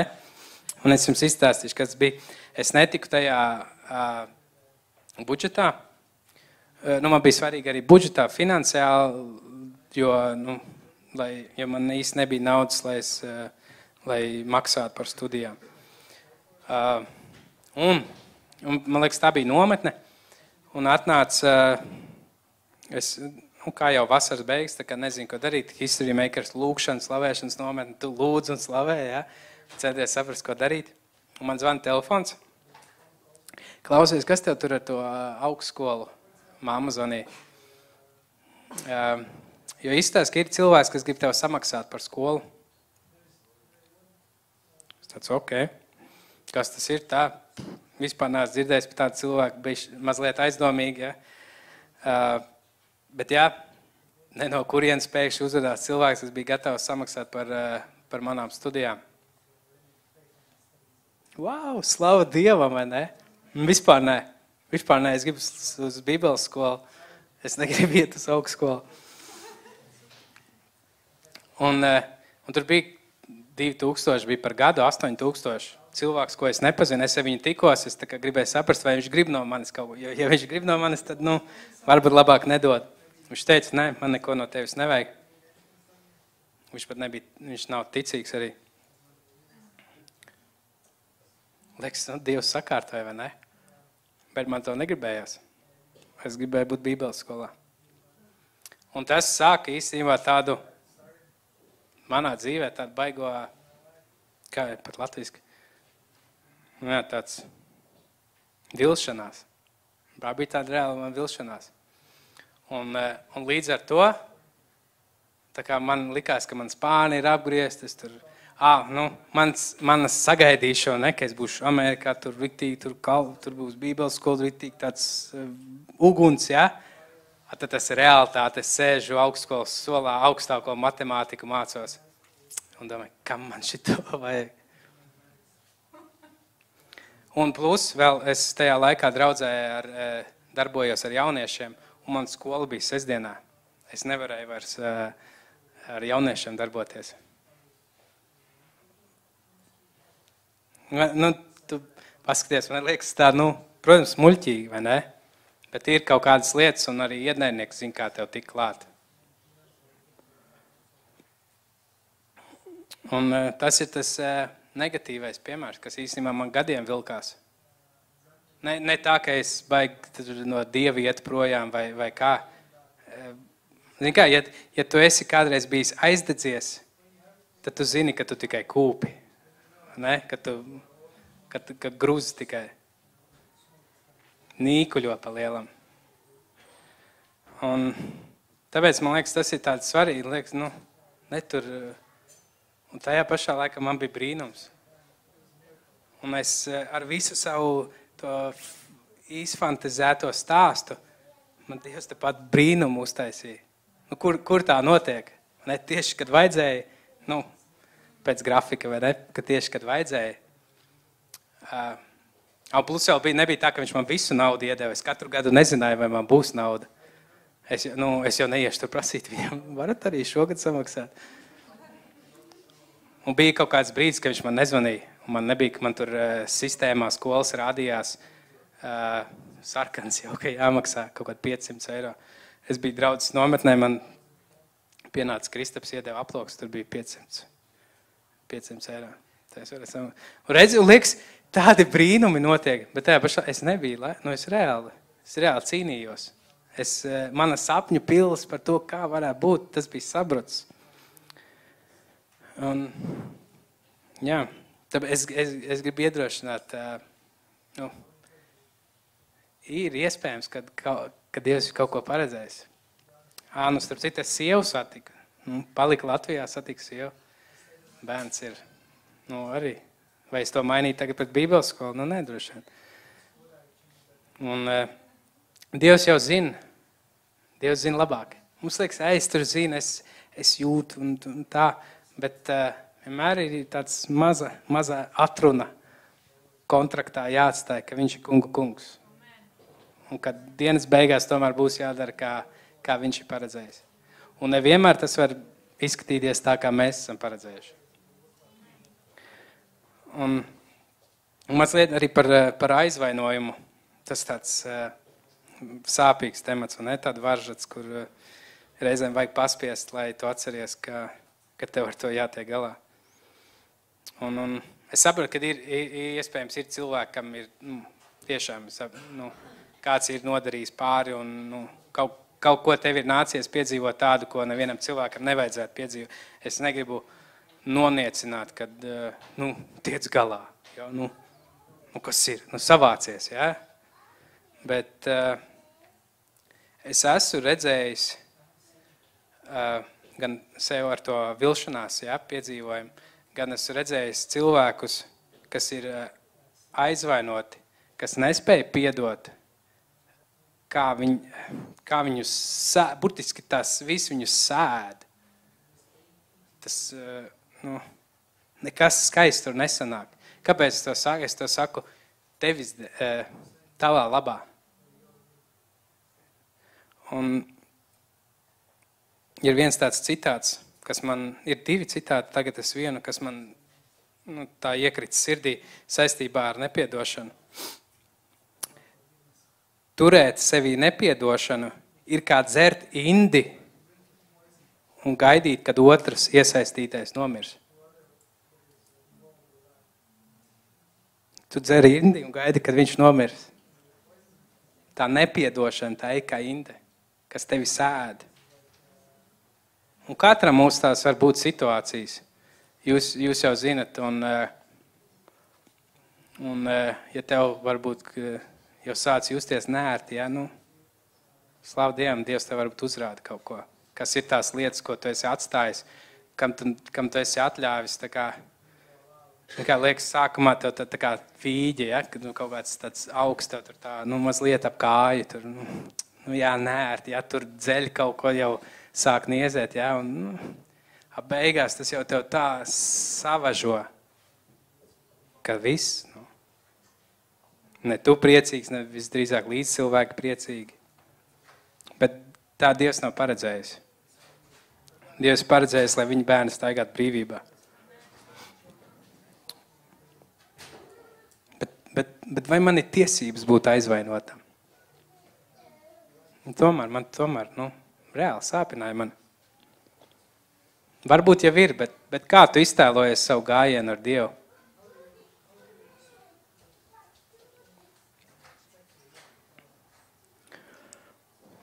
Un galotiešiem otrā nodaļa, 20. pants. Līdz ar Kristu es esmu krustā sists, bet nu nedzīvoju es, bet manī dzīvo Kristus. Bet cik es tagad dzīvoju miesā, es dzīvoju ticībā uz Dieva dēlu, kas mani ir mīlējis un nodevies par mani. Un eh, šis ir viens tāds pants, ko es eh, reizēm sev atgādinu. Ka līdz ar Kristu es esmu krustā īsts. Mani sāpināja, bet mani, mani. Es, man, mani. Miruši cilvēki diezgan grūti sāpināt. Mazliet mums tikai jāpak, jāpraktizējas, tas ir ikdienā. Un es ļoti ceru, ka caur kaut, kaut kas aizsniedzās aizsniedzās līdz te. Ja, liekas, kas tas ir kaut kāds sīkums, bet ja tu ar to netiec galā, tad reāli gadiem var vilties līdzi.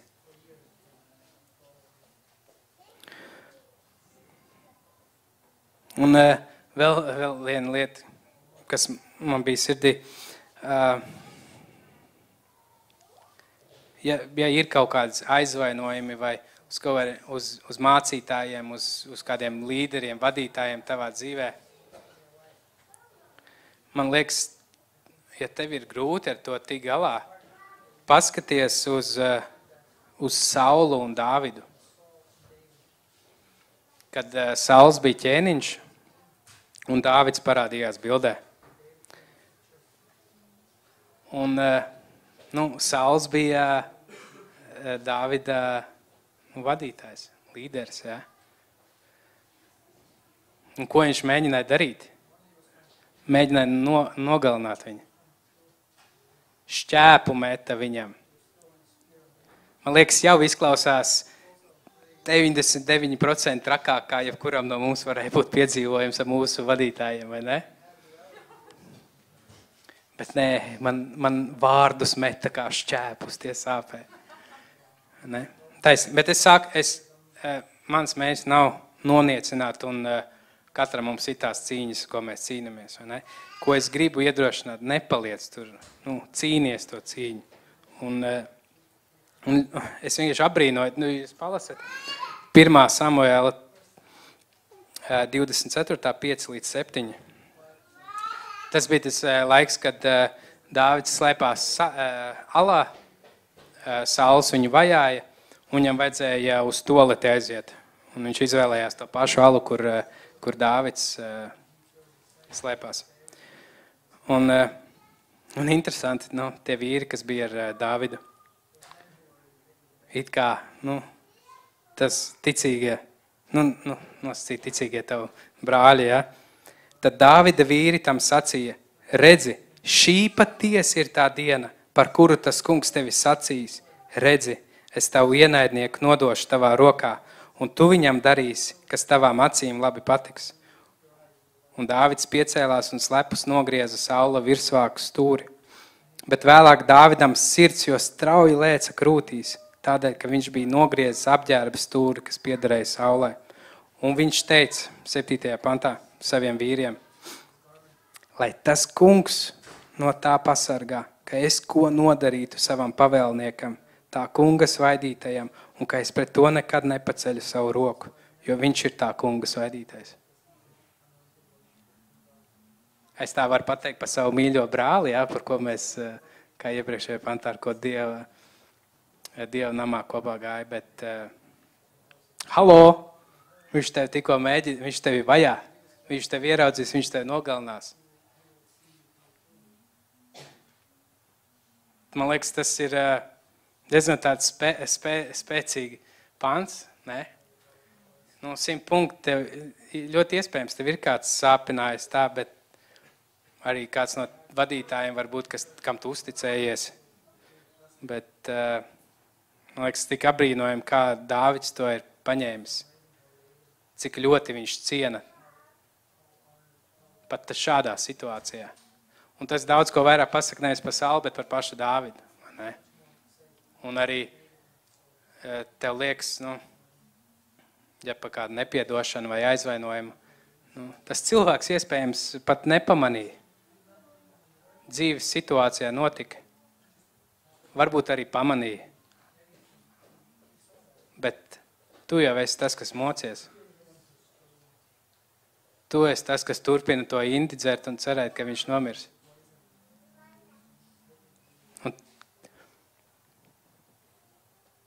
Es atceros, man bija, tā kā es uh, agrāk draudzē darbojos ar jauniešiem, mēs tur uh, vairākas draudzes uh, organizējāmies kopā un mēs taisījām jauniešu konferences. Lai tā, zin kā tur, cik mēs tur, ko desmit, ja jaunieši tur laukos baigā konferences nesanāk, mēs tur vairākas draudzes kopā. Tad bija tā slavēšana, tur vārds, tur aktivitātes, nu, forši. Un, un katru reizi mēs domājam, kas būtu tā tēma. Mēs tur lūdzām un tā. Un jau kārtējā konferences un likās, nu, jā, kad ir uzķerta tā tēma, Es tur padalījos ar, ar, ar pārējiem vadītājiem. Likās, likās, jā. Un tad sanāca saruna ar manu mācītāju, ar Ventistanti. Uh, pie viņas ka, pie kabinetā kaut ko apvaicājās par to. Un saka, jā, man liekas, ka, man, ka ir tēma. Es pastāstu viņai to tēmu. Nu, zin kā, un es tur, jā, liekas, ka ir tēma, tūlīt būs, tūlīt būs konferences, jau mēs tādu plakātiņu taisīs, tur viss, nu, riktīgi, jā, viss, viss tūlīt notiks pastāst un eh, sajūsmā tā un gaida tā kā apakaļ sajūsma un pasaka, nu, palūdziet vēl. Un tajā brīdī tā, kas es ielidoju kabinetā, ja, tad es tā kā liemezis izlīdu ārā no kabineta. Un atceries, ko es iepriekš teicu, uh, un ko mēs darījām, nu mēs lūdzām vēl tāpēc, ka es eh, arī cienu tās autoritātes, ko Dievs ielicis. Tas, ko es teicu iepriekš, reizēm Dievs arī pieļaus, ka notiek kaut kādas situācijas, kad tevi var sāpināt. Es varēju tagad, eh, es tur zinu, kā es eh, dzīvoju jau tad Rīgā, es katru nedēļu ar diviem autobusiem braucu, lai vispār varētu būt dievkalpojumā. Tur, ja bija vēl jaunieši, tad uh, tur vispār vēl sestdienas un uh, ar reizēm ar kājām bija jāiet vispār uz draugu, jo autobusu tajos laikos nekursē. Es varēju to visu palūdziet, vēl mot, paņemt. Dus, dusvidaņie, ja? lai kāds cits ņemās. Eh, es reāli tā iespringu un darīju, bet reizēm Dievs pieļauj. Mēs jau tuvojamies nobeigumam. Piedod, Ilmār, tu jau cik reizes taimer mainīja. Uh, piedodiet, jā, pirmā reize tomēr. Uh, paldies, paldies. Uh, vēl es mazliet par, par vadītājiem. Ja? Es nezinu, kāpēc man tas bija uz sirds, bet uh, ļoti, iesp ļoti iespējams, ka nav iemesls, vai ne? Bet tajā pašā laikā ļoti iespējams, ka Dievs tev grib uzaudzēt biezu ādu. Ja? Lai tu esi uh, neaizvainojams. Nevis nevainojams, bet neaizvainojams. Uh, jo, ja mēs gribam kaut ko reāli iet uz priekšu, darīt, darboties, uh, tad var visādi būt. Ne? Un svarīgi, ka mēs uh, esam, jo tas arī runā par mūsu briedumu. Uh, jā, un, zin, kā, un reizēm, reizēm mums liekas, ka mēs uh, no malas, kā es teicu, nu, es sēžu malā, es, uh, es dzirdu, kā runā, vai ne, nu, varēja labāk pateikt. Vai, vai tad, nu, kur tad tā, vai ne? Un, uh, kā, bet kāpēc tā jāvada, vai ne? Kāpēc draudzē tā, vai, vai, vai, vai mm, mm, mm, mm. Un, uh, vai kāpēc tas, uh, kāpēc pret tā izturējās vadītājs vai kā? Un viens no iemesliem, kāpēc tev varbūt arī tādas domas nāk, ka tu pats neesi uzņēmies atbildību un vadījis kaut ko. Jo tad, kad tu esi pats uh, bijis dubļos iekšā, jā, rokām, tad tu daudz vieglāk lietas uztver, jā, ka kāds kaut ko ne tā izdara vai tā, tu saproti, kā tu pats uh, klūpi un krīti. Bet uh, tāpēc arī tieši ir tas, ja ja mēs nedarām to, ko Dievs ir aicinājis, ja mēs uh, neatsaucamies tam, nu, mēs paliekam tādi, kā man pierakstīts, dīvāni eksperti. Ja? Par sportu tā parasti saka. Un, man ļoti patīk hokejs. Un, un, zināt, un parasti, nu, man skolas laikā kādreiz, kad bija pasaules čempionāts, es negāju skolu. Man bija tur termometrs tējā, jā, vai vienalga, bet es būšu, būšu mājās. Un, un, Un es vienmēr es gribēju spēlēt hokeju. Bet nu, nekad eh, vairāk pa dīķi nekas nesanāca. Plus man bija tikai viens kaimiņš laukos. Baigais, ho baigais hokejs nesanāca. Uh, bet, uh, un es, tu skaties hokeju, ja, un ir, ir dīvāni eksperti. Ja? Un dīvāni eksperti, nu, mēs, kas skatāmies, ne? mēs zinām, kā, kā vajag, vai ne? Nu, padod tur, nu, padod. Nu, viņš brīvs, vai ne? Vai arī, kā tur bija tukši vārti. Nu, kā? Kā tur varēja netrāpīt? Vai ne? Un tad eh, pirms eh, gada vai diviem es pats sāku spēlēt hokeju. Pirmkārt, jau tas ātrums, ja, kas tur ir eh, televizorā, viss tā. Tu praktiski dzīvē izstāsti, ka tu mācies staigāt gandrīz vai ja, nu, uz slidām vai kā. Un, un tev ir arī ne, tas moments, kā tukši vārti, un tu vienkārši aizšau kaut kur viņu projām. Un, kā bija futbolā, ne, kad uh, viss tur deva piespēles, lai Kristaps iesit. Viņš tur aizsit, tur aizsit, tur aizsit. Bet tu tur skaties čempionu līgā un liekas, kā, kā viņš netrāpīja. Ne? Un tā mums ir. Mēs, kā, tu, kā tu netrāpīji? Ne? Bet ja es netrāpu, tad, nu jā, es jau tur tā un tā. Un tur nu, visādi attaisnojumi, ne? Bet, uh, ja mēs paši nedaram, paši... Uh, nesasmērējam rokas, ne? tad mēs paliekam par tādiem vērtētājiem, eksperta dīvā, dīvāna ekspertiem. Un, un tā nevajadzētu būt. Un, ja tu nezini, kas ir tas, ko Dievs tev aicinājis, dari vienkārši to, ko vajag darīt. Dari to, ko, va, ko, ko pajautā darīt. Ne, kad, kā bija saules laikam bija, ja, kad Eh, ka viņu izredzēja būt par ķēniņu. Es negribu samalot, bet viņš meklēja ēzeli. Ja? Jā. Un tā, tā, nu, ja tu nezini, ko Dievs ir aicinājis darīt, vienkārši ej meklē to pazudušo ēzeli, ej, ej dari to, kas ir jādara. Un ļoti bieži, kad tajā procesā tu atradīsi to, ko Dievs tev paredzējis. Ja? Um, Vēl ir visādi, kas man ierakstīts, uh, ka draudzē mani nepabaro. Es nedomāju par cienas galdu, ja tur, tur, nav, tur nav jautājuma. Ne? Uh, nu, arī par garīgo nav. Jā, es ne, uh, bet uh, es, es tur nesaņemu. Un tad liekas, uh, ok, tu esi jauns tikko atgriezies, viss kārtībā. Ja, tev. Bet, ja tu gadiem jau esi draudzē, tad kur ir jautājums? Tad varbūt nav jautājums par to, vai tu saņem vai nē, bet varbūt tev laiks dot. Varbūt tu jau esi tā iesēdējies, ka tev tur eh, jau atkrīt no tevis vārds, ja, kas eh, dzirdētais. Tu jau, tu jau visu zini un jau tu dzird, ah, šito es jau pa nedēļu dzirdēju īstenībā citur sprediķi. Ja. Bet ir nevis tad, kad tu esi riktīgi iekšā, ka tu kalpo kaut ko dari, vai ne? Tev tās svētdienas tu pilnīgi citādāk uzņem. Tāds, jā, dod man ūdeni, man vajag, vai ne, man jāskrien tālāk, jādara. Bet, eh, ja tev pašam nav kaut kādas lietas, kas tev izaicina, kas uh, tu reāli neesi izslāpis, tad tāds pus, puspēdis visu laiku esi. Un, uh, Viens, ja es nāku svētdienās ar domu, nevis, nu, kas tad šodien būs priekš manis, kas būs sagatavots. Es jūsu augstību esmu ieradies, ja? bet ar domu, ko es varu kalpot, kam es varu kalpot šajā svētdienā. Un ebrejiem 5.12 ir, lai gan laika ziņā jums pašiem pienākas būt tiem, kas māca, jums atkal vajadzīgs kāds, kas jums māca Dievu vārdu pirmsākums. Jūs esat tapuši par tādiem, kam vajag piena, cietas barības. Un arī teikts 4. Eh, nodaļā Efeziešiem, eh, viņš tur devis eh, apstuļus, praviešus, tu, tu, tu, tu, tu. Kāpēc? Nevis lai izklaidētu, bet lai svētos sagatavotu. Kurš ir svētais? Tūnes.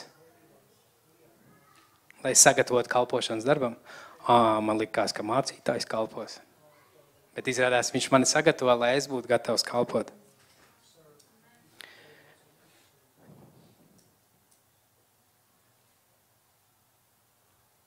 Un pēdējie divi, divi stāsti.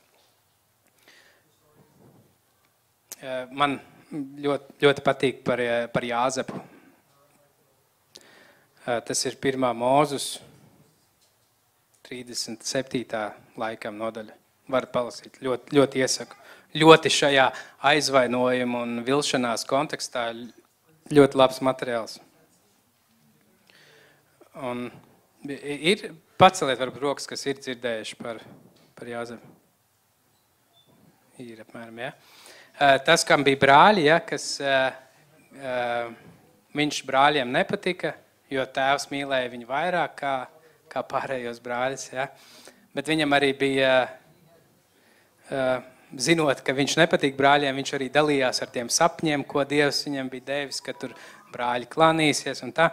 Nu, var teikt, tas viss noved pie tā, ka brāļi viņu gribēja sākumā nogalināt, bet tad viņam bija sapulce, nu, viņš tomēr ir mūsu brālis, ja, nenogalināsim, pārdosim viņu verdzībā. Ja, tad viņi pārdeva, pārdeva savu brāli un viņš nokļuva Ēģiptē. Un Ēģiptē pie viena no nu, augstas amatpersonas Ēģiptē, ja var teikt. Man liekas, ka sardzes priekšnieks arī viņš bija faraonam. Un Dievs viņu tur svētīja.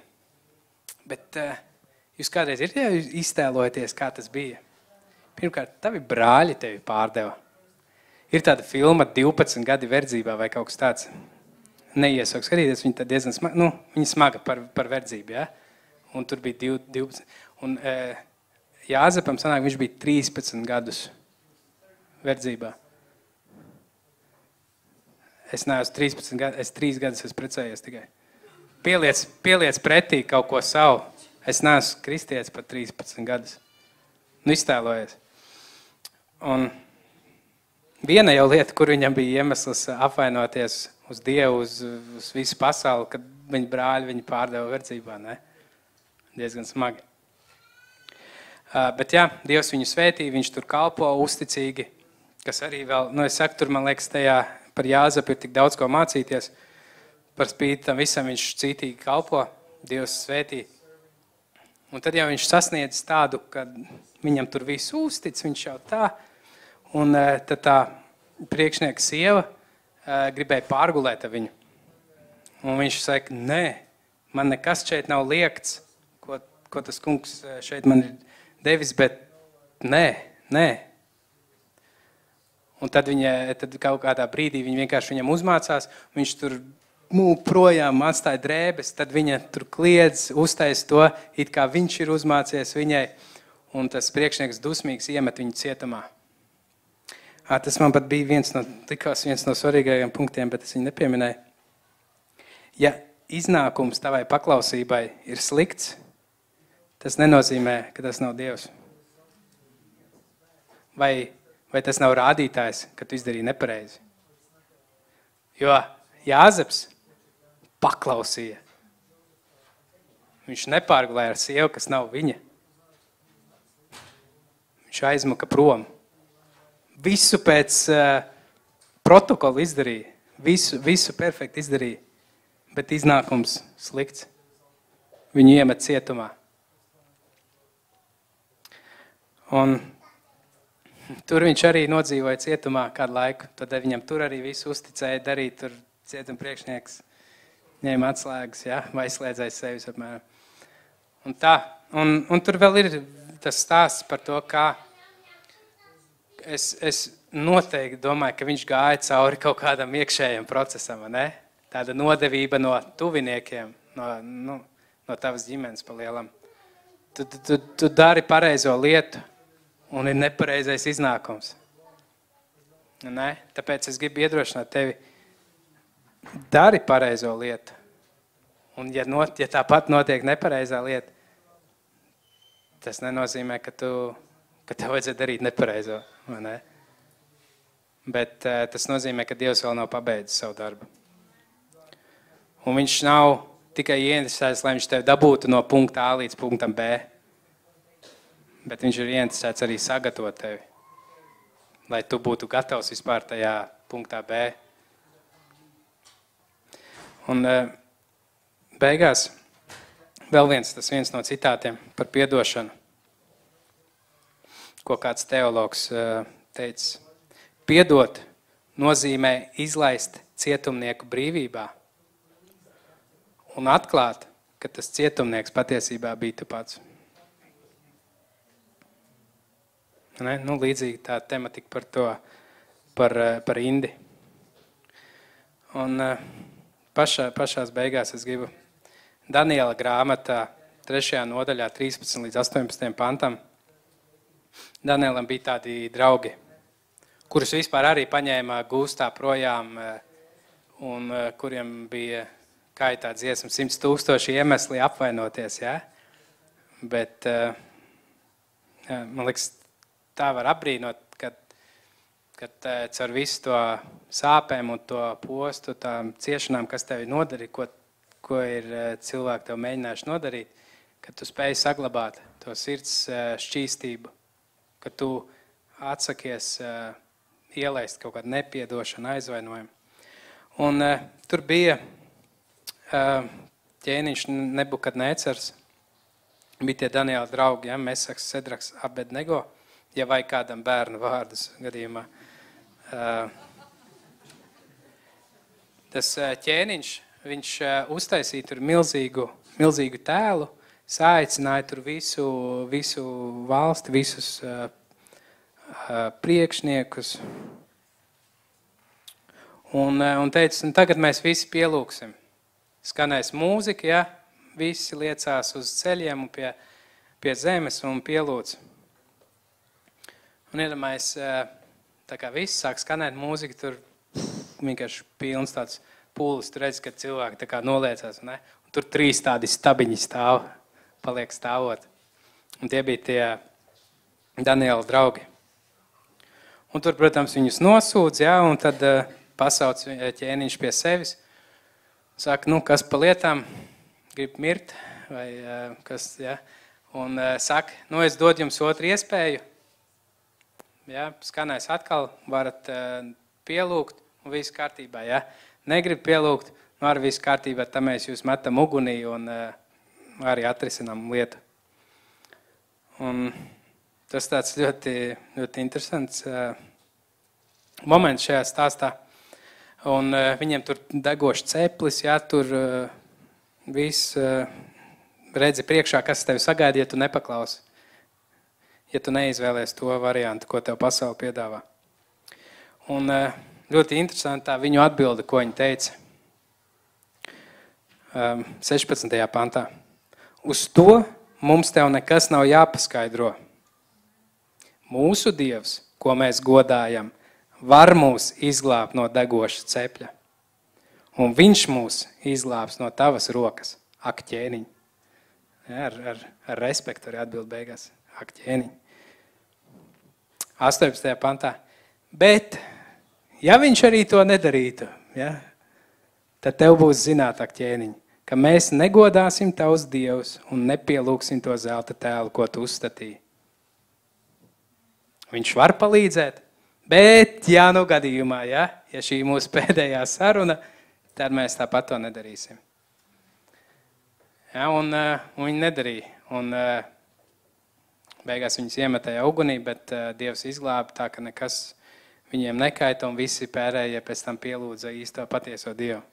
Un, uh, un uh, ar š, š, tas tā 17. 17. 18. pantā, tas, ko viņi teica, tie tie vārdi, ko es uh, gribētu mums atstāt par to biezo ādu. Um, ka tā maza saistība atrunā tajā mūsu kontraktā, ja, mūsu kristiešu dzīvē. Jā, mums ir sagaidīšanas, mēs gaidām, ka Dievs darīs, bet tas, ko es iztēlojos, tas nav labākais variants. Un mums ir jāatcerās, ka beigu beigās, dienas beigās, viņš ir kungu kungs. Un dienas beigās būs tomēr viņa variants pareizais. Un par to par to ādu biezo. Nu, paņemiet, paņemsim sev sirdī. Uh, viņš var izglābt. Bet, ja arī, bet, ja es arī neaizbraukšu uz to bībeles skolu, bet, tad tāpat tas nemainīs to, ka es, es kalpoju. Tu, Dievs, izmainīji man dzīvi. Tu man izglābi. Un, bet viens gan tajā kad es biju, bija tāds tas vilšanās periods. Reizēm pat bija tā, ka es negribēju, lai Dievs runā uz mani, jo es baidījos, ko viņš varētu pateikt. Nu, es jau biju tāds savā tajā vilšanās burbulī iekšā. Bet viens gan nebija tā, ka es gribētu iet projām no Dieva. Ja, ja gribētu, tad droši vien iemeslu varētu sakasīt. Bet arī bija, kā, kad, eh, kad Jēzus sludināja, bija tas eh, viņa sliktais eh, sprediķis, ja, kad par, par viņa miesu, asinīm, un kad tur rakstīts Bībelē, ka, kad cilvēki gāja, tur bija pateikts nevis, ka viņa sekotāji, ja, tas jau tāds tuvāks, augstāks līmenis, ka kādi viņa sekotāji vairs viņam nesakoja. Kas, kas to var panest? Ne? Un, un tad viņš interesē, nu, kā jēzus, ja, pagriežas uz mācekļiem. A jūs arī varbūt gribat iet projām?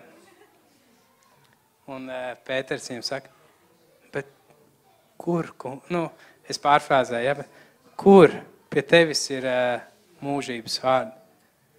Un uh, pārit par tam visam, par to vilšanos, nu, a, kur es varu iet? Es biju pasaulē, ja, nerekomendēju, dzīvi diezgan labi izposta. Bet, eh, bet Dievs. Ne? Es saku, kā man kādreiz likās, ka manā, eh, manā eh, dzimtas kokā, ko es redzu, alkohols, alkohols, ja? bet Dievam ir savs dzimtas koks. Viņam tas, kas ir stādīts upes malā un nes, nes augļus, pareizi. Tāpēc es ceru, o, man rakstīts runā vēl, paldies. Paldies. Jā. Jā, piedodiet, ja bija, bija haotiski, vai, bet uh, es ļoti ceru, ka tas ir draudzē par svētību un mums ir jāsargā mūsu sirdis, mums ir jāaudzē tā biezā āda, ja, lai, lai tik viegli mūs no spēles neizslēgtu. Es pat hokeju, kas spēlē arī buruņas uzvalk, ja, lai tā kā bortā ieliek, lai tu vari slidot tālāk. Nu, tāpēc vajag. Uh, jā, laikam lūdzam, jā. Un varbūt kādu brīdi tīri, ne, uh, ja ir, uh, jā, ceļaties, jūs jau sēdiet ilgi. Man uh, laikam nav vēl tā, tā uh, autora tāds slavētājs saukt, jā, bet uh, vienkārši, nu, past, pastāviet un uh, esi ar sevi vienīgi šobrīd, vienkārši ar sevi. Ar, uh, un, un, un, un lūdz, lai, uh, lai svētais gars uzrunā, ja ir kaut kādas lietas. Un, ja, ja, ja uzrunā kaut ko, kas nepaliek, atceries to manu pārdot formas, fo, uh, samaksā par formu. Jā, jo ļoti iespējams, ka tev uzrunā kaut ko, kas tev nepatīk. Bet pats, pats galvenais, nepaliec uz vietas. Ja vajag, atrod kādu, kas tev palīdzēs, kas aizlūgs, kas iedrošinās. Vienkārši paņem, paņem laiku, paņem laiku ar Dievu tagad. Ja ir, ir kaut kādas lietas, kas, ir, eh, kas jau ir ieaugušas, kādreiz likās, ka tu vari, uh, nu, mazliet paslaucīs, un tā, tā lieta jau aizies projām. Bet uh, iespējams tagad jau tas ir tik ļoti ieaudzies, kā tāds audzējs, ko tu nemaz vairs nevari. Tu gribi jau tagad, bet tu vairs varbūt nevari. Bet uh, pacelt tās lietas tagad augšā. Ja tev liekas, ka Dievs vairs nerunā, tad varbūt tev ir laiks atgriezties uz to pēdējo vietu, kur viņš runāja un paklausīt šoreiz.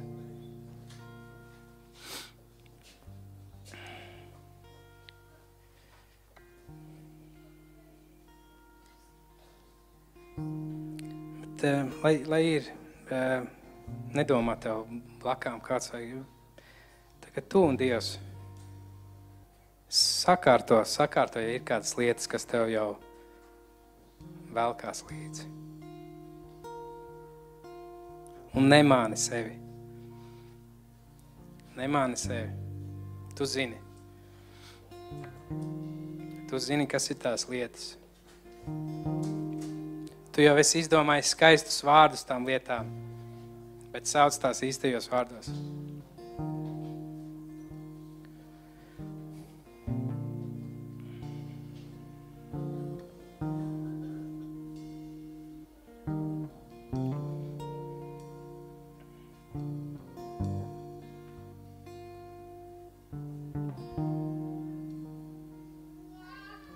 Reizēm tas trakākais ir, ka tu paliec viens pret sevi, vai ne? Pret sevi un Dievu. Tā, kad ir uh, mūzikas slavēšana, un, un reizēm var tajā arī pat paslēpties. Var uh, krēslu rindās paslēpties. Bet tu neaizmuks no tā, ka, kas tu esi. No tā, ko Dievs runā uz tevi. Un nedomā, ka viņš tevi nosoda. Tu esi viņa mīļais bērns.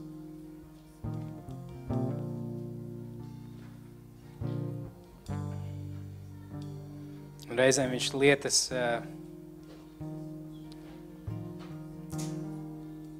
viņš nedod kādas lietas nevis pret mums, bet priekš mums, jo viņš zina, ka tas pasargās mūs. Tev liekas, ka tu baigais nāzes, ka tu izplānoji tā un tā, bet neesi stūrgalvīgs.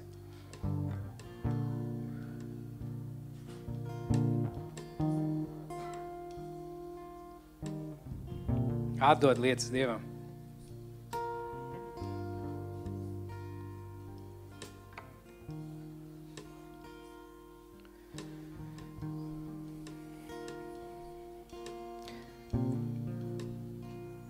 Paldies, debes Tēvs. Paldies, ka Tu katru vienu mūs tik ļoti mīli. Un, ka Tu sliktās lietas, ka tu pat tās vērs par labu.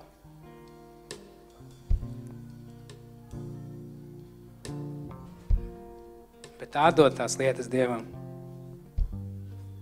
Atdod, neturi. Tu esi ieķēries. Atdod. Tu jau pietiekami ilgi mēģināji pats tik galā. Paskat, pat nevajag prasīt par rezultātiem. Bet atdod, atdod. Lai, lai, lai šī tēma pat nav jāceļ vēlreiz. Lai nav jārunā par aizvainojumu, par, par sāpinājumu, par vilšanos. Atdot to Dievam.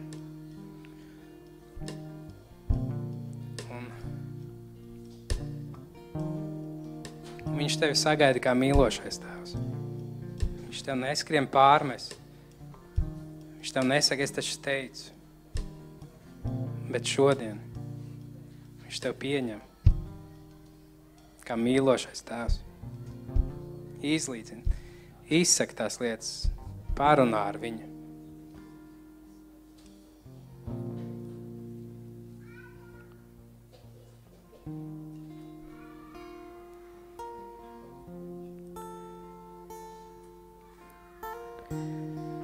Paldies, debes Tēvs,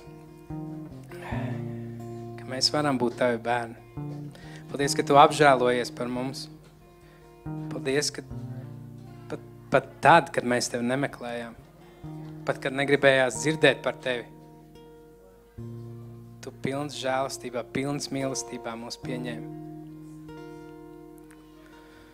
Un, un dzīve notiek. Cilvēks mūs sāpina, mēs sāpinam. Un, Tevis, Tēvs, sūdz, ka Tu uzrādi svētais gars, kas, kas ir tās lietas, ko mēs esam atstājuši novārtā, ko mēs neesam sakārtojuši.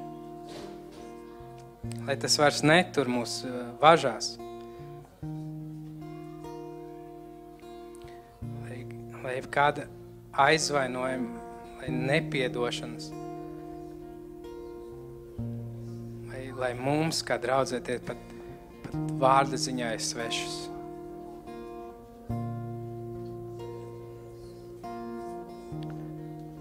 Kungs, dari savu darbu pie mūsu sirdīm. Un, kungs, dod mums spēku sakārtot tās lietas, tikt vaļā no tām lietām. Un lai bailes nav tās, kas mūs attur bailes man neteiks, ko darīt. Tas kungs teiks, ko man darīt. Paldies, kungs. Es lūdzu svētī savu draudzi. Es ticu, ka tas, tas vārds tas nav nejauši vai, vai vienkārši tāpēc, ka vajadzēs svētdienu aizpildīt. Bet tu esi uzticams, kungs. Un ir lietas, ko tu gribi izdarīt pie mums. Lai mēs neesam draudz, kas ir iesūnojis vai kas, kas buksē, kas nevar iet uz priekšu, tāpēc, ka kādas lietas mūs velk apakaļ. Un, un ja tavā stāstā par, par aizvainojumu, par, par vilšanos, ja tur ir iesaistīts kāds vēl, vēl cilvēks, izlīdzinies. Tas noteikti būs diezgan riebīgs process, diezgan nērts, bet nu, kā tu domā staigāt ar Dievu, ja tu nesakārtos? Tas ir tavām labām. Tas ir tava paša labā, lai tu vari būt brīvs.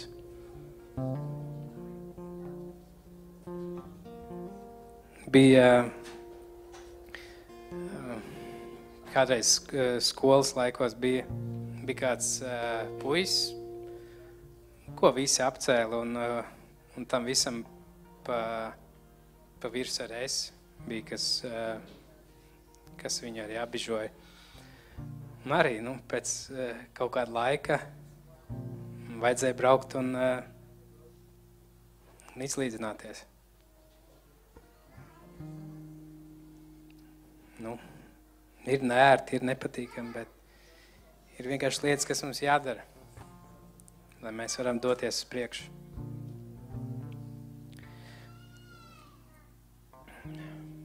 Paldies, Tev, kungs. Paldies, ka Tu uzrādi lietas, ka Tu, ka tu arī dod spēku. Paldies, ka Tu esi mūsu skolotājs. Un ka Tu mums vēl to pašu labāko. Un ka Tu gribi dot mums pašu labāko. Kaut arī nevienmēr tas var būt tas, ko mēs esam iztēlojušies. Bet tu zini labāk. Tu jau zini laika galu, kamēr mēs dzīvojam no tā, ko mēs saprotam.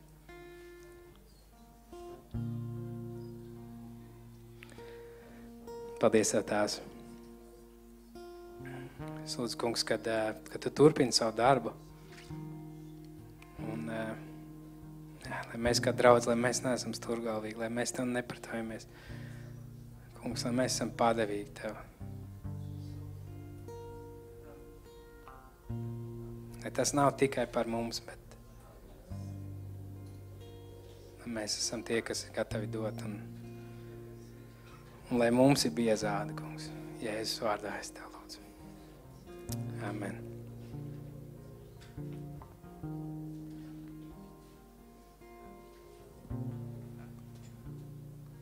Halleluja. Mums ir brīnišķīgi iespēja šajā rītā vēl baudīt vakarēdienu. Un tā ir tik labā, labs atgādinājums arī pēc tāda vārda par to, cik ļoti mums vienkārši vajag Jēzu, cik ļoti mēs esam atkarīgi no viņa. Un Bībelē ir rakstīts, ka tad, kad mēs baudam vakarēdienu, lai mēs katrs pārbaudam un izvērtējam savus sirds, lai mēs varam redzēt, kā mēs stāvam, vai kādā, kādā vietā, kādā stāvoklī mēs stāvam. Un, Un, uh, es zinu, kad mēs parasti dzirdam to vārdu, ka mēs izvērtējam vai pārbaudam savus sirdis, tad mēs parasti uzreiz domājam, nu, nu es tur neesmu alkoholiķis, es nelietoju narkotikas, nu, tur es neguļu ar, ar kuru katru, tur es nepārkāpu laulības, ir kaut kādas lietas, ko es nedaru, bet, bet uh, cik bieži nav, kad mēs vienkārši gribam paši tikt galā ar visu. Cik bieži nav, kad mēs sakam, es pats izdarīšu, es, man ir, es pats tikšu galā, es pats izdomāšu, izgudrošu, izdarīšu un būs.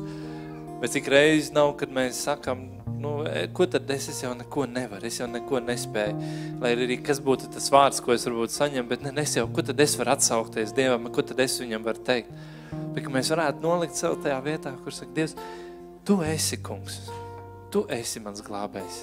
Šīs asins, šis kaus, viņš liecina par tavām izlietajām asinīm, par manīm. Šī maize, viņa liecina par tavu salauzto miesu par mani. Un tas ir simbols tam, kad es piedaru tev.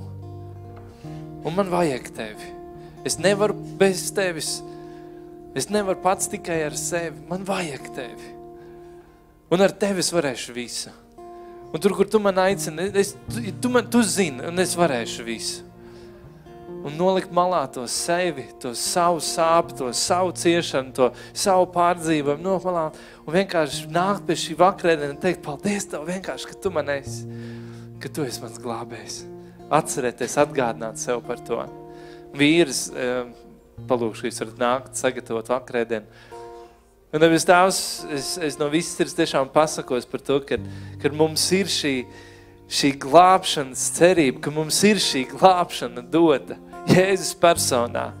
Un ka tas nav par mūsu pašu spēku, tas nav par mūsu pašu cīņu un mēģinājumu būt pareizākam, svētākam, būt tādam, kurš pat, pat uh, spēj iziet cauri rūgtumam vai sāpēm. Un tas nav vienkārši par to.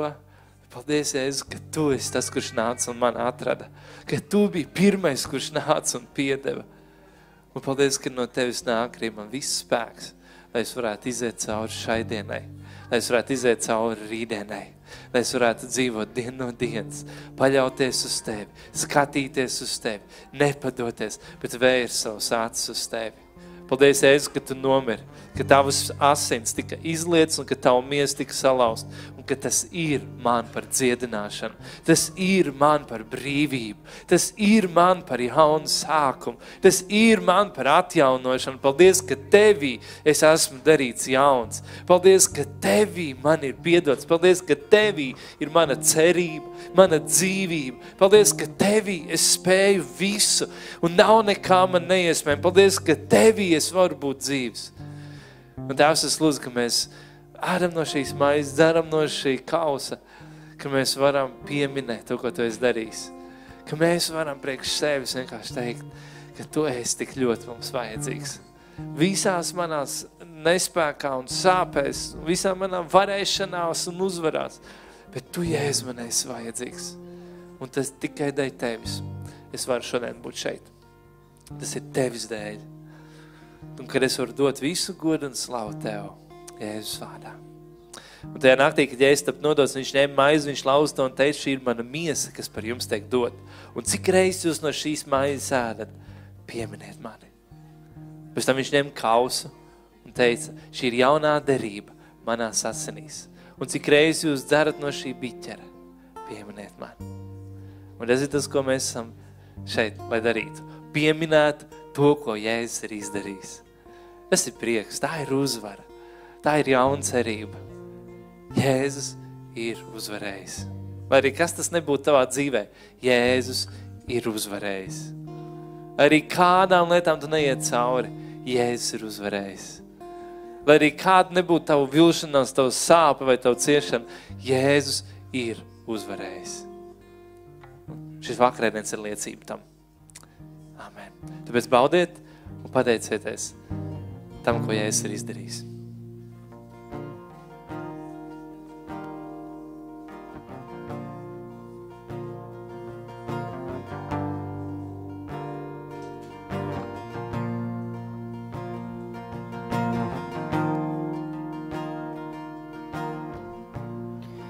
Tas kungs ir mans gaišums un mans patvērums.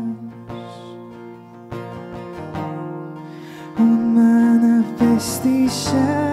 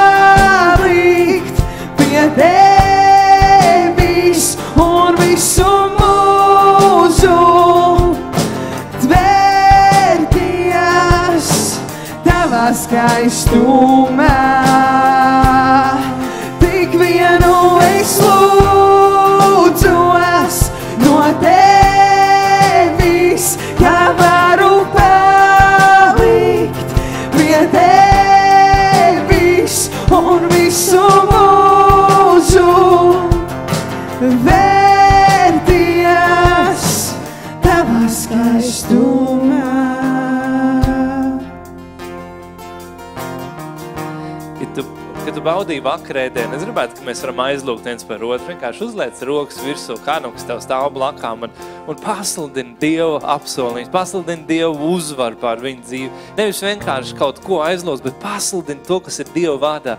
Pasludini, tu nemirsti, bet tu dzīvos un teiks tā kunga darbs. Pasludini, ka tu esi jauns radījums un viss, kas ir bijis, ir pagājis, viss ir tapis jauns. Pasludini, ka Jēzus Kristus asinīs, tu esi dziedināts. Pasludini, ka tu un tavs nams kalpos tam kungam. Vienkārši izrunā, pasludini Dievu vārdus par, par tiem cilvēkiem, kas tev stāv blakām. Izrunā, ka Jēzus asinīs ir uzvar. Jēzus vārdā, Jēzus spēkā ir uzvar. Un tur nav nekāda tumsa, tur nav nekāds ienaidnieks. Neviena mēl, kas uzstāsies pret tevi, tā nesakmēsies. Neviena balss, neviena valoda, kas stāvēt tev pretī, viņai neizdosies uzvarēt. Jo tu esi Dieva bērns, tu esi aicināts, tu esi izredzēts, tu esi svaidīts, tu esi darīts svēts, tu esi darīts šķīsts un taisns. Tu esi Dieva bērns. Vienkārši izrunā un pasludini Dieva vārdus.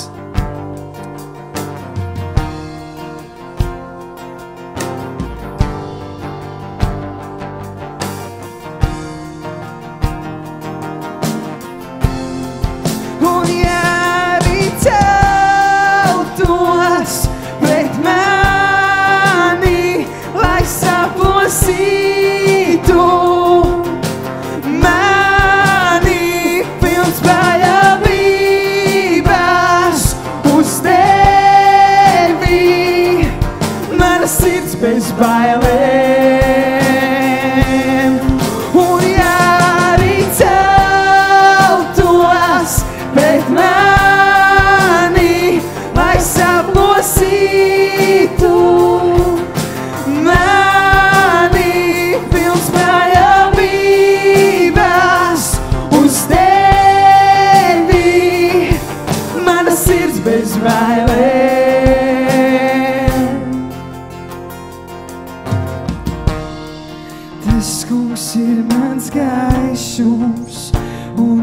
patvērums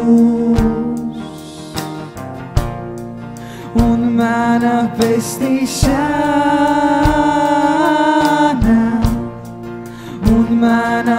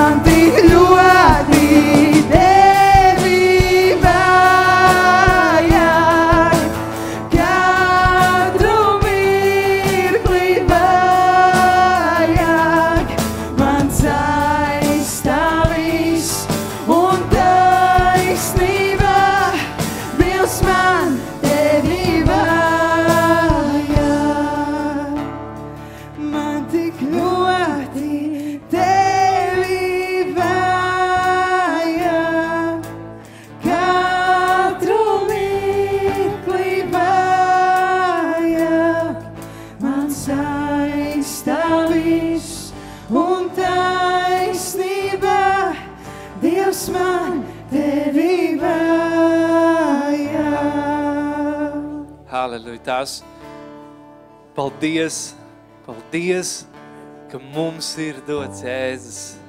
Paldies par šo dzīvību, šo uzvaru, šo gaismu. Paldies par šo mūžīgo mīlestību, par ticību, par cerību. Paldies, ka mums ir dots Jēzus. Paldies, ka mums ir šī atbilde, šī vienīgā cerība šajā pasaulē. Paldies, ka mēs pazīstam. Jēzus lūdzu, tā kā Māris runāja, es lūdzu, lai mēs varētu būt tie, kas nebaidās, bet kas var tev teikt jā, kas var esam gatavi atsaukties, atsaukties, ka tu mūs aicini, nebaidīties, bet ak, paklausīt tur, kur tu mūs vādi. Lūdzu, arī šajā nedēļā, lūdzu, runā atkal uz mums, runā no jauna.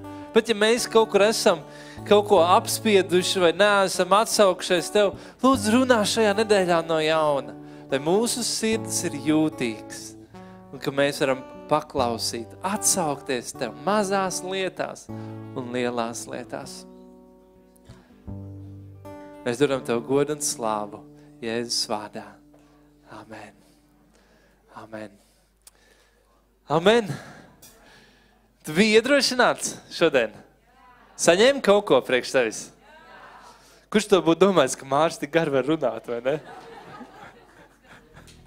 Bet um, malacis.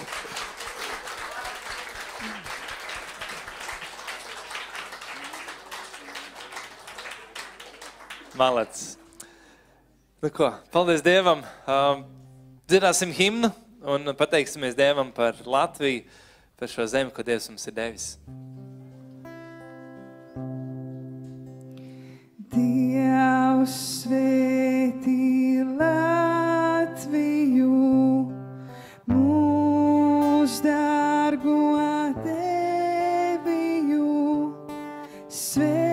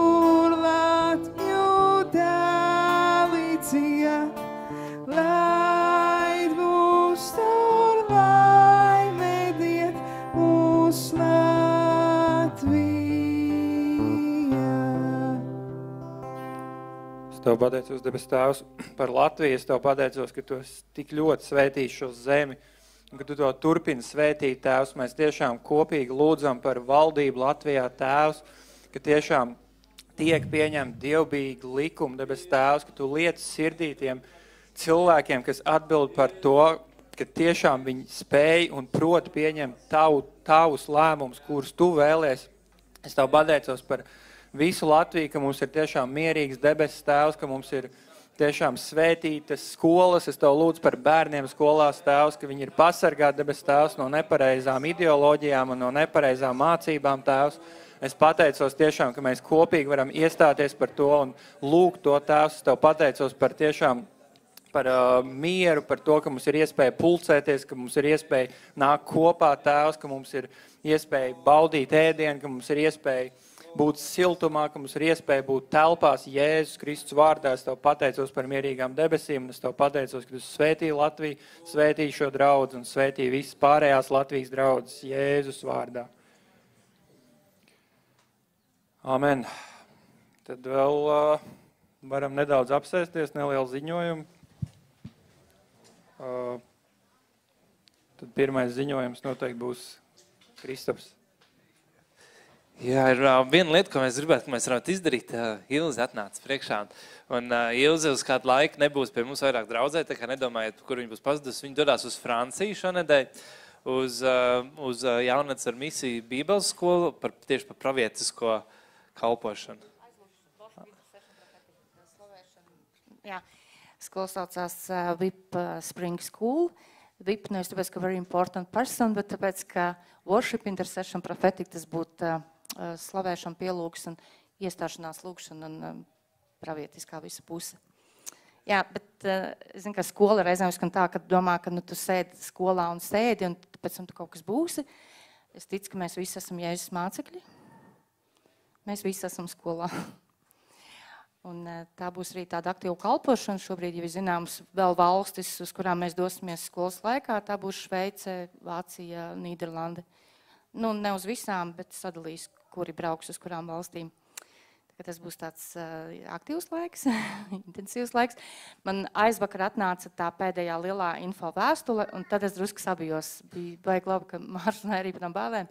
Es reāli sabijos, jo es sapratu, ka man vajag tādu piepūli, lai angliski izlasītu vēstuli Man tā angļu valoda ir nu, varbūt tāda līmenī, ka mūsdienu jauniešiem krievu valoda, ja, kas viņu ļoti maz zinu. Un, un man, es lasīju to vēstuli, domāju, ko tu esi izdarījis, Ilza?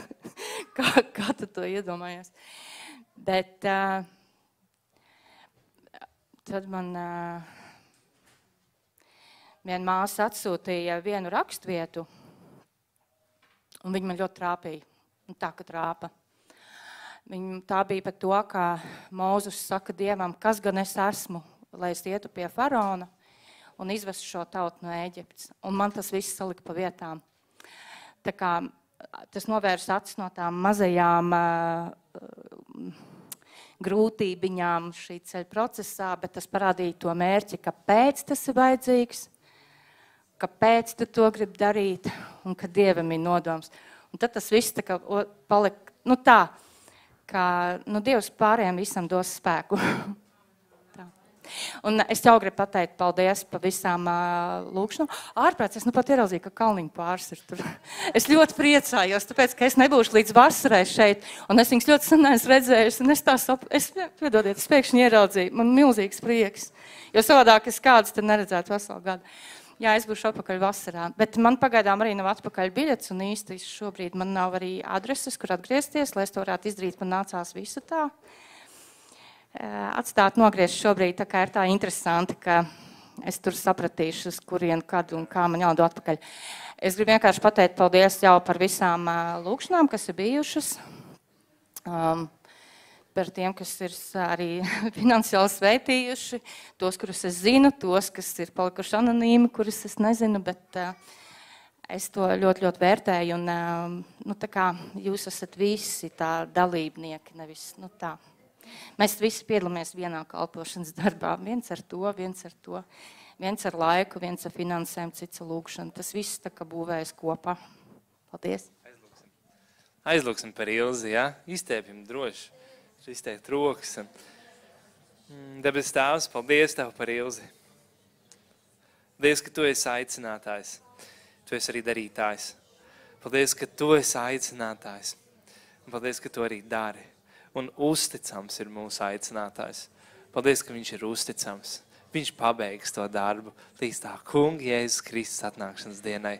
Paldies, ka tu pabeigsi. Un mēs gribam vienkārši svētīt, kā draudzene. Šajā brīdī mēs gribam svētīt viņu.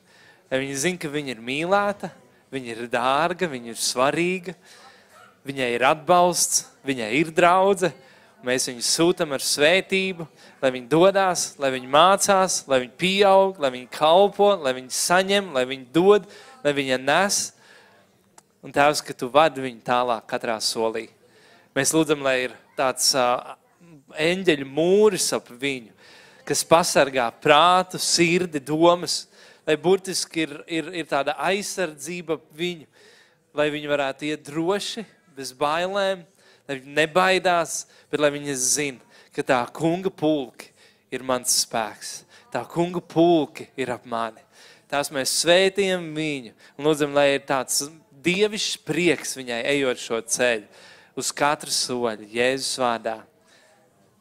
Jā. Paldies Tev arī par pilnīgu nodrošinājumu, gan tas būtu finansiāli, gan tas būtu emocionāli, gan valodas ziņā. Paldies, ka Tu nodrošini un Tu arī uzturēsi. Un mēs vienkārši viņu svētiem Jēzus vārdā. Amen. Amen. Amen. Sveitīta. Uh, Kristaps ar Jānu atnākat priekšā. Un, uh, daļa no jums nemaz viņas nekad nav redzējuši, man liekas. Daļa no jums nemaz nezināt viņas. Bet viņiem piedzima dvīnīši. Un uh, pirmo reizi draudzē mēs uh, aizlūksim pa dvīnīšiem. Divi identiski puikas.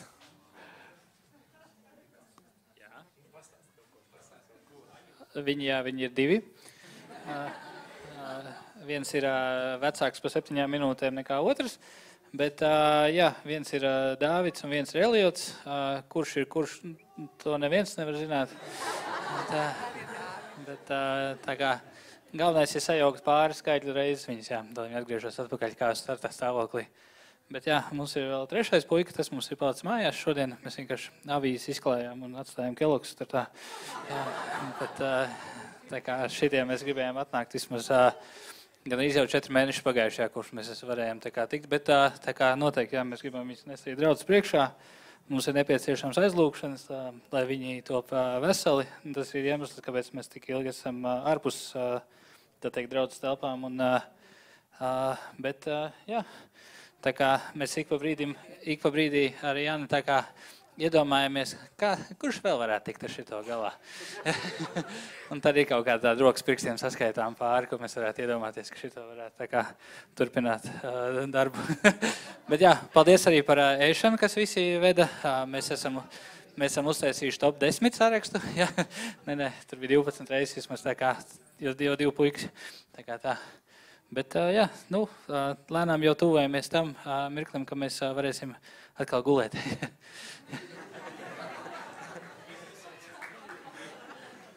kurš tad ir daudz, kurš ir Eliots, ko? Lai visi zina.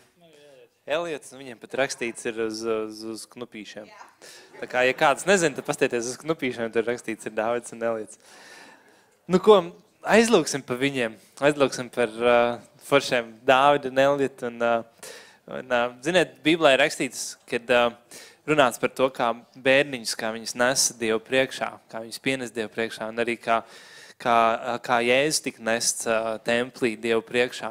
Un, un mēs neticam draudzēm bērnu kristībai, mēs, mēs nekristam bērnus, bet man liekas, ir kaut kas tik ļoti īpašs un ļoti tāds dārgs, kad mēs varam pienest bērnus pie Dieva, un nu, mēs varam lūgt Dievu sveitību pār viņam, ka mēs varam veltīt savus bērnus Dievam, lai viņi uzaug ar to, un ka mēs zinām to, ka mēs savus bērnus esam veltījuši Dievam, ka mūsu bērni pieder Dievam, un ka mēs nesam to, un mēs turpinam nest to savā sirdīs. Un tāpēc tas, tas, ko mēs varam darīt, mēs varam kopīgi lūgt par viņiem, mēs varam kopīgi pateikties Dievam, un mēs varam veltīt viņus Jēzum, lai, lai viņi ir, jā, lai viņi ir tie, kas kalpo, staigā un uh, piepild Dieva aicinājumu savām dzīvēm. Amen!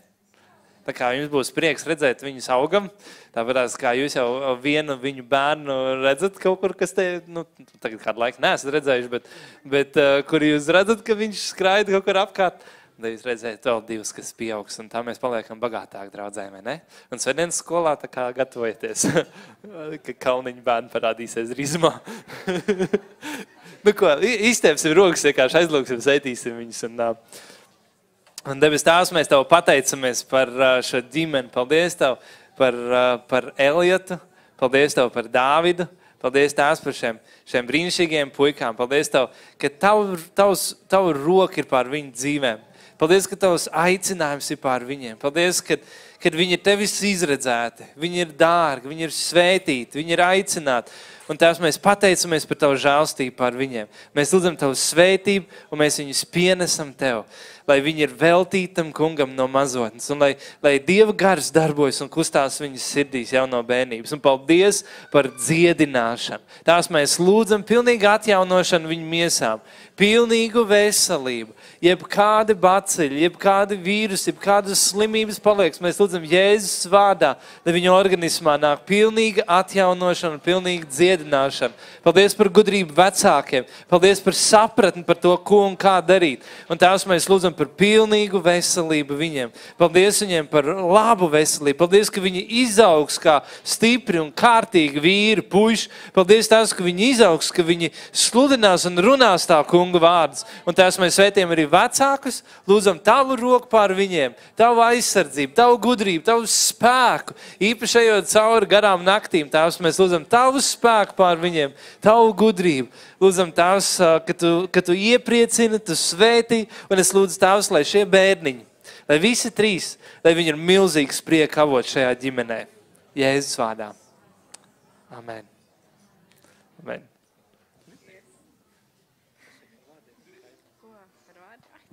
Paldies jā, visiem arī par lūkšanām, ka mēs bijām tur slimnīcā un tā tālāk, un par ēdienu, par visu.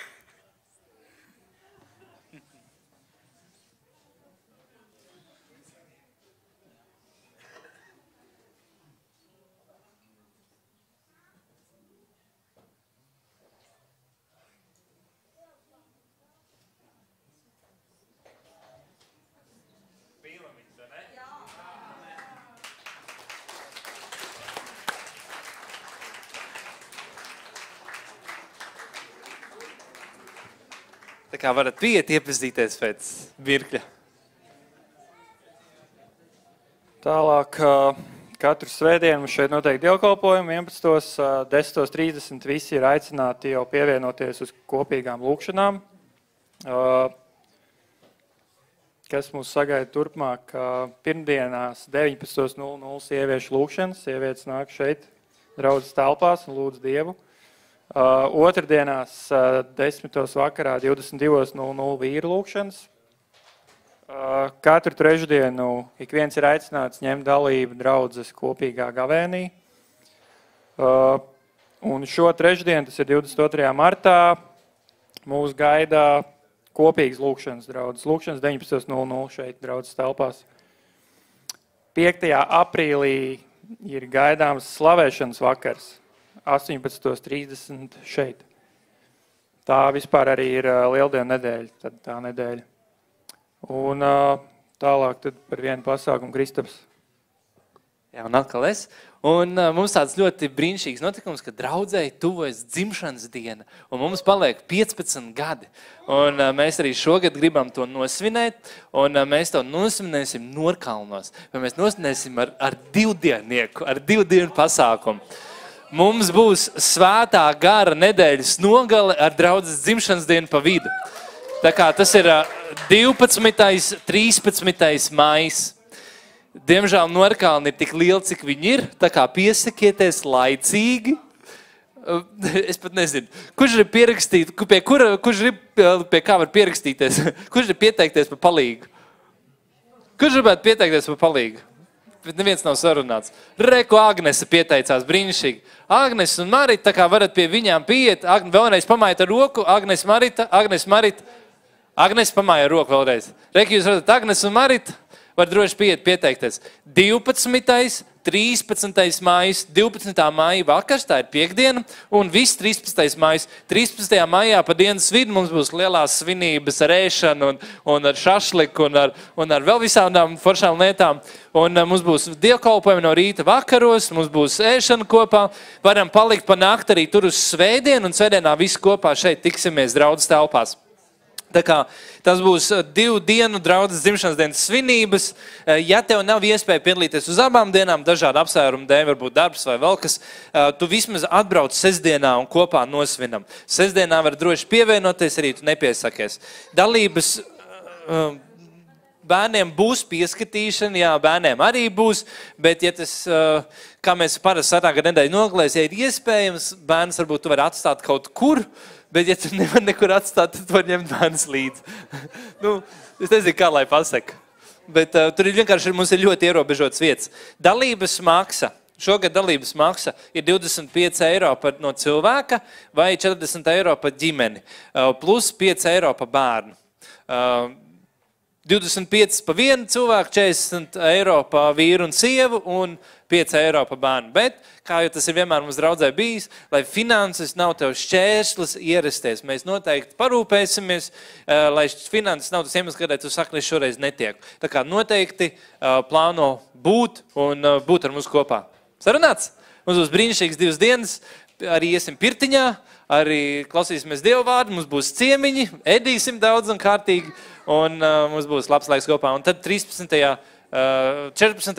maijā, svētdienā, tiekamies šeit draudzē uz kopīgu dievkalpojumu.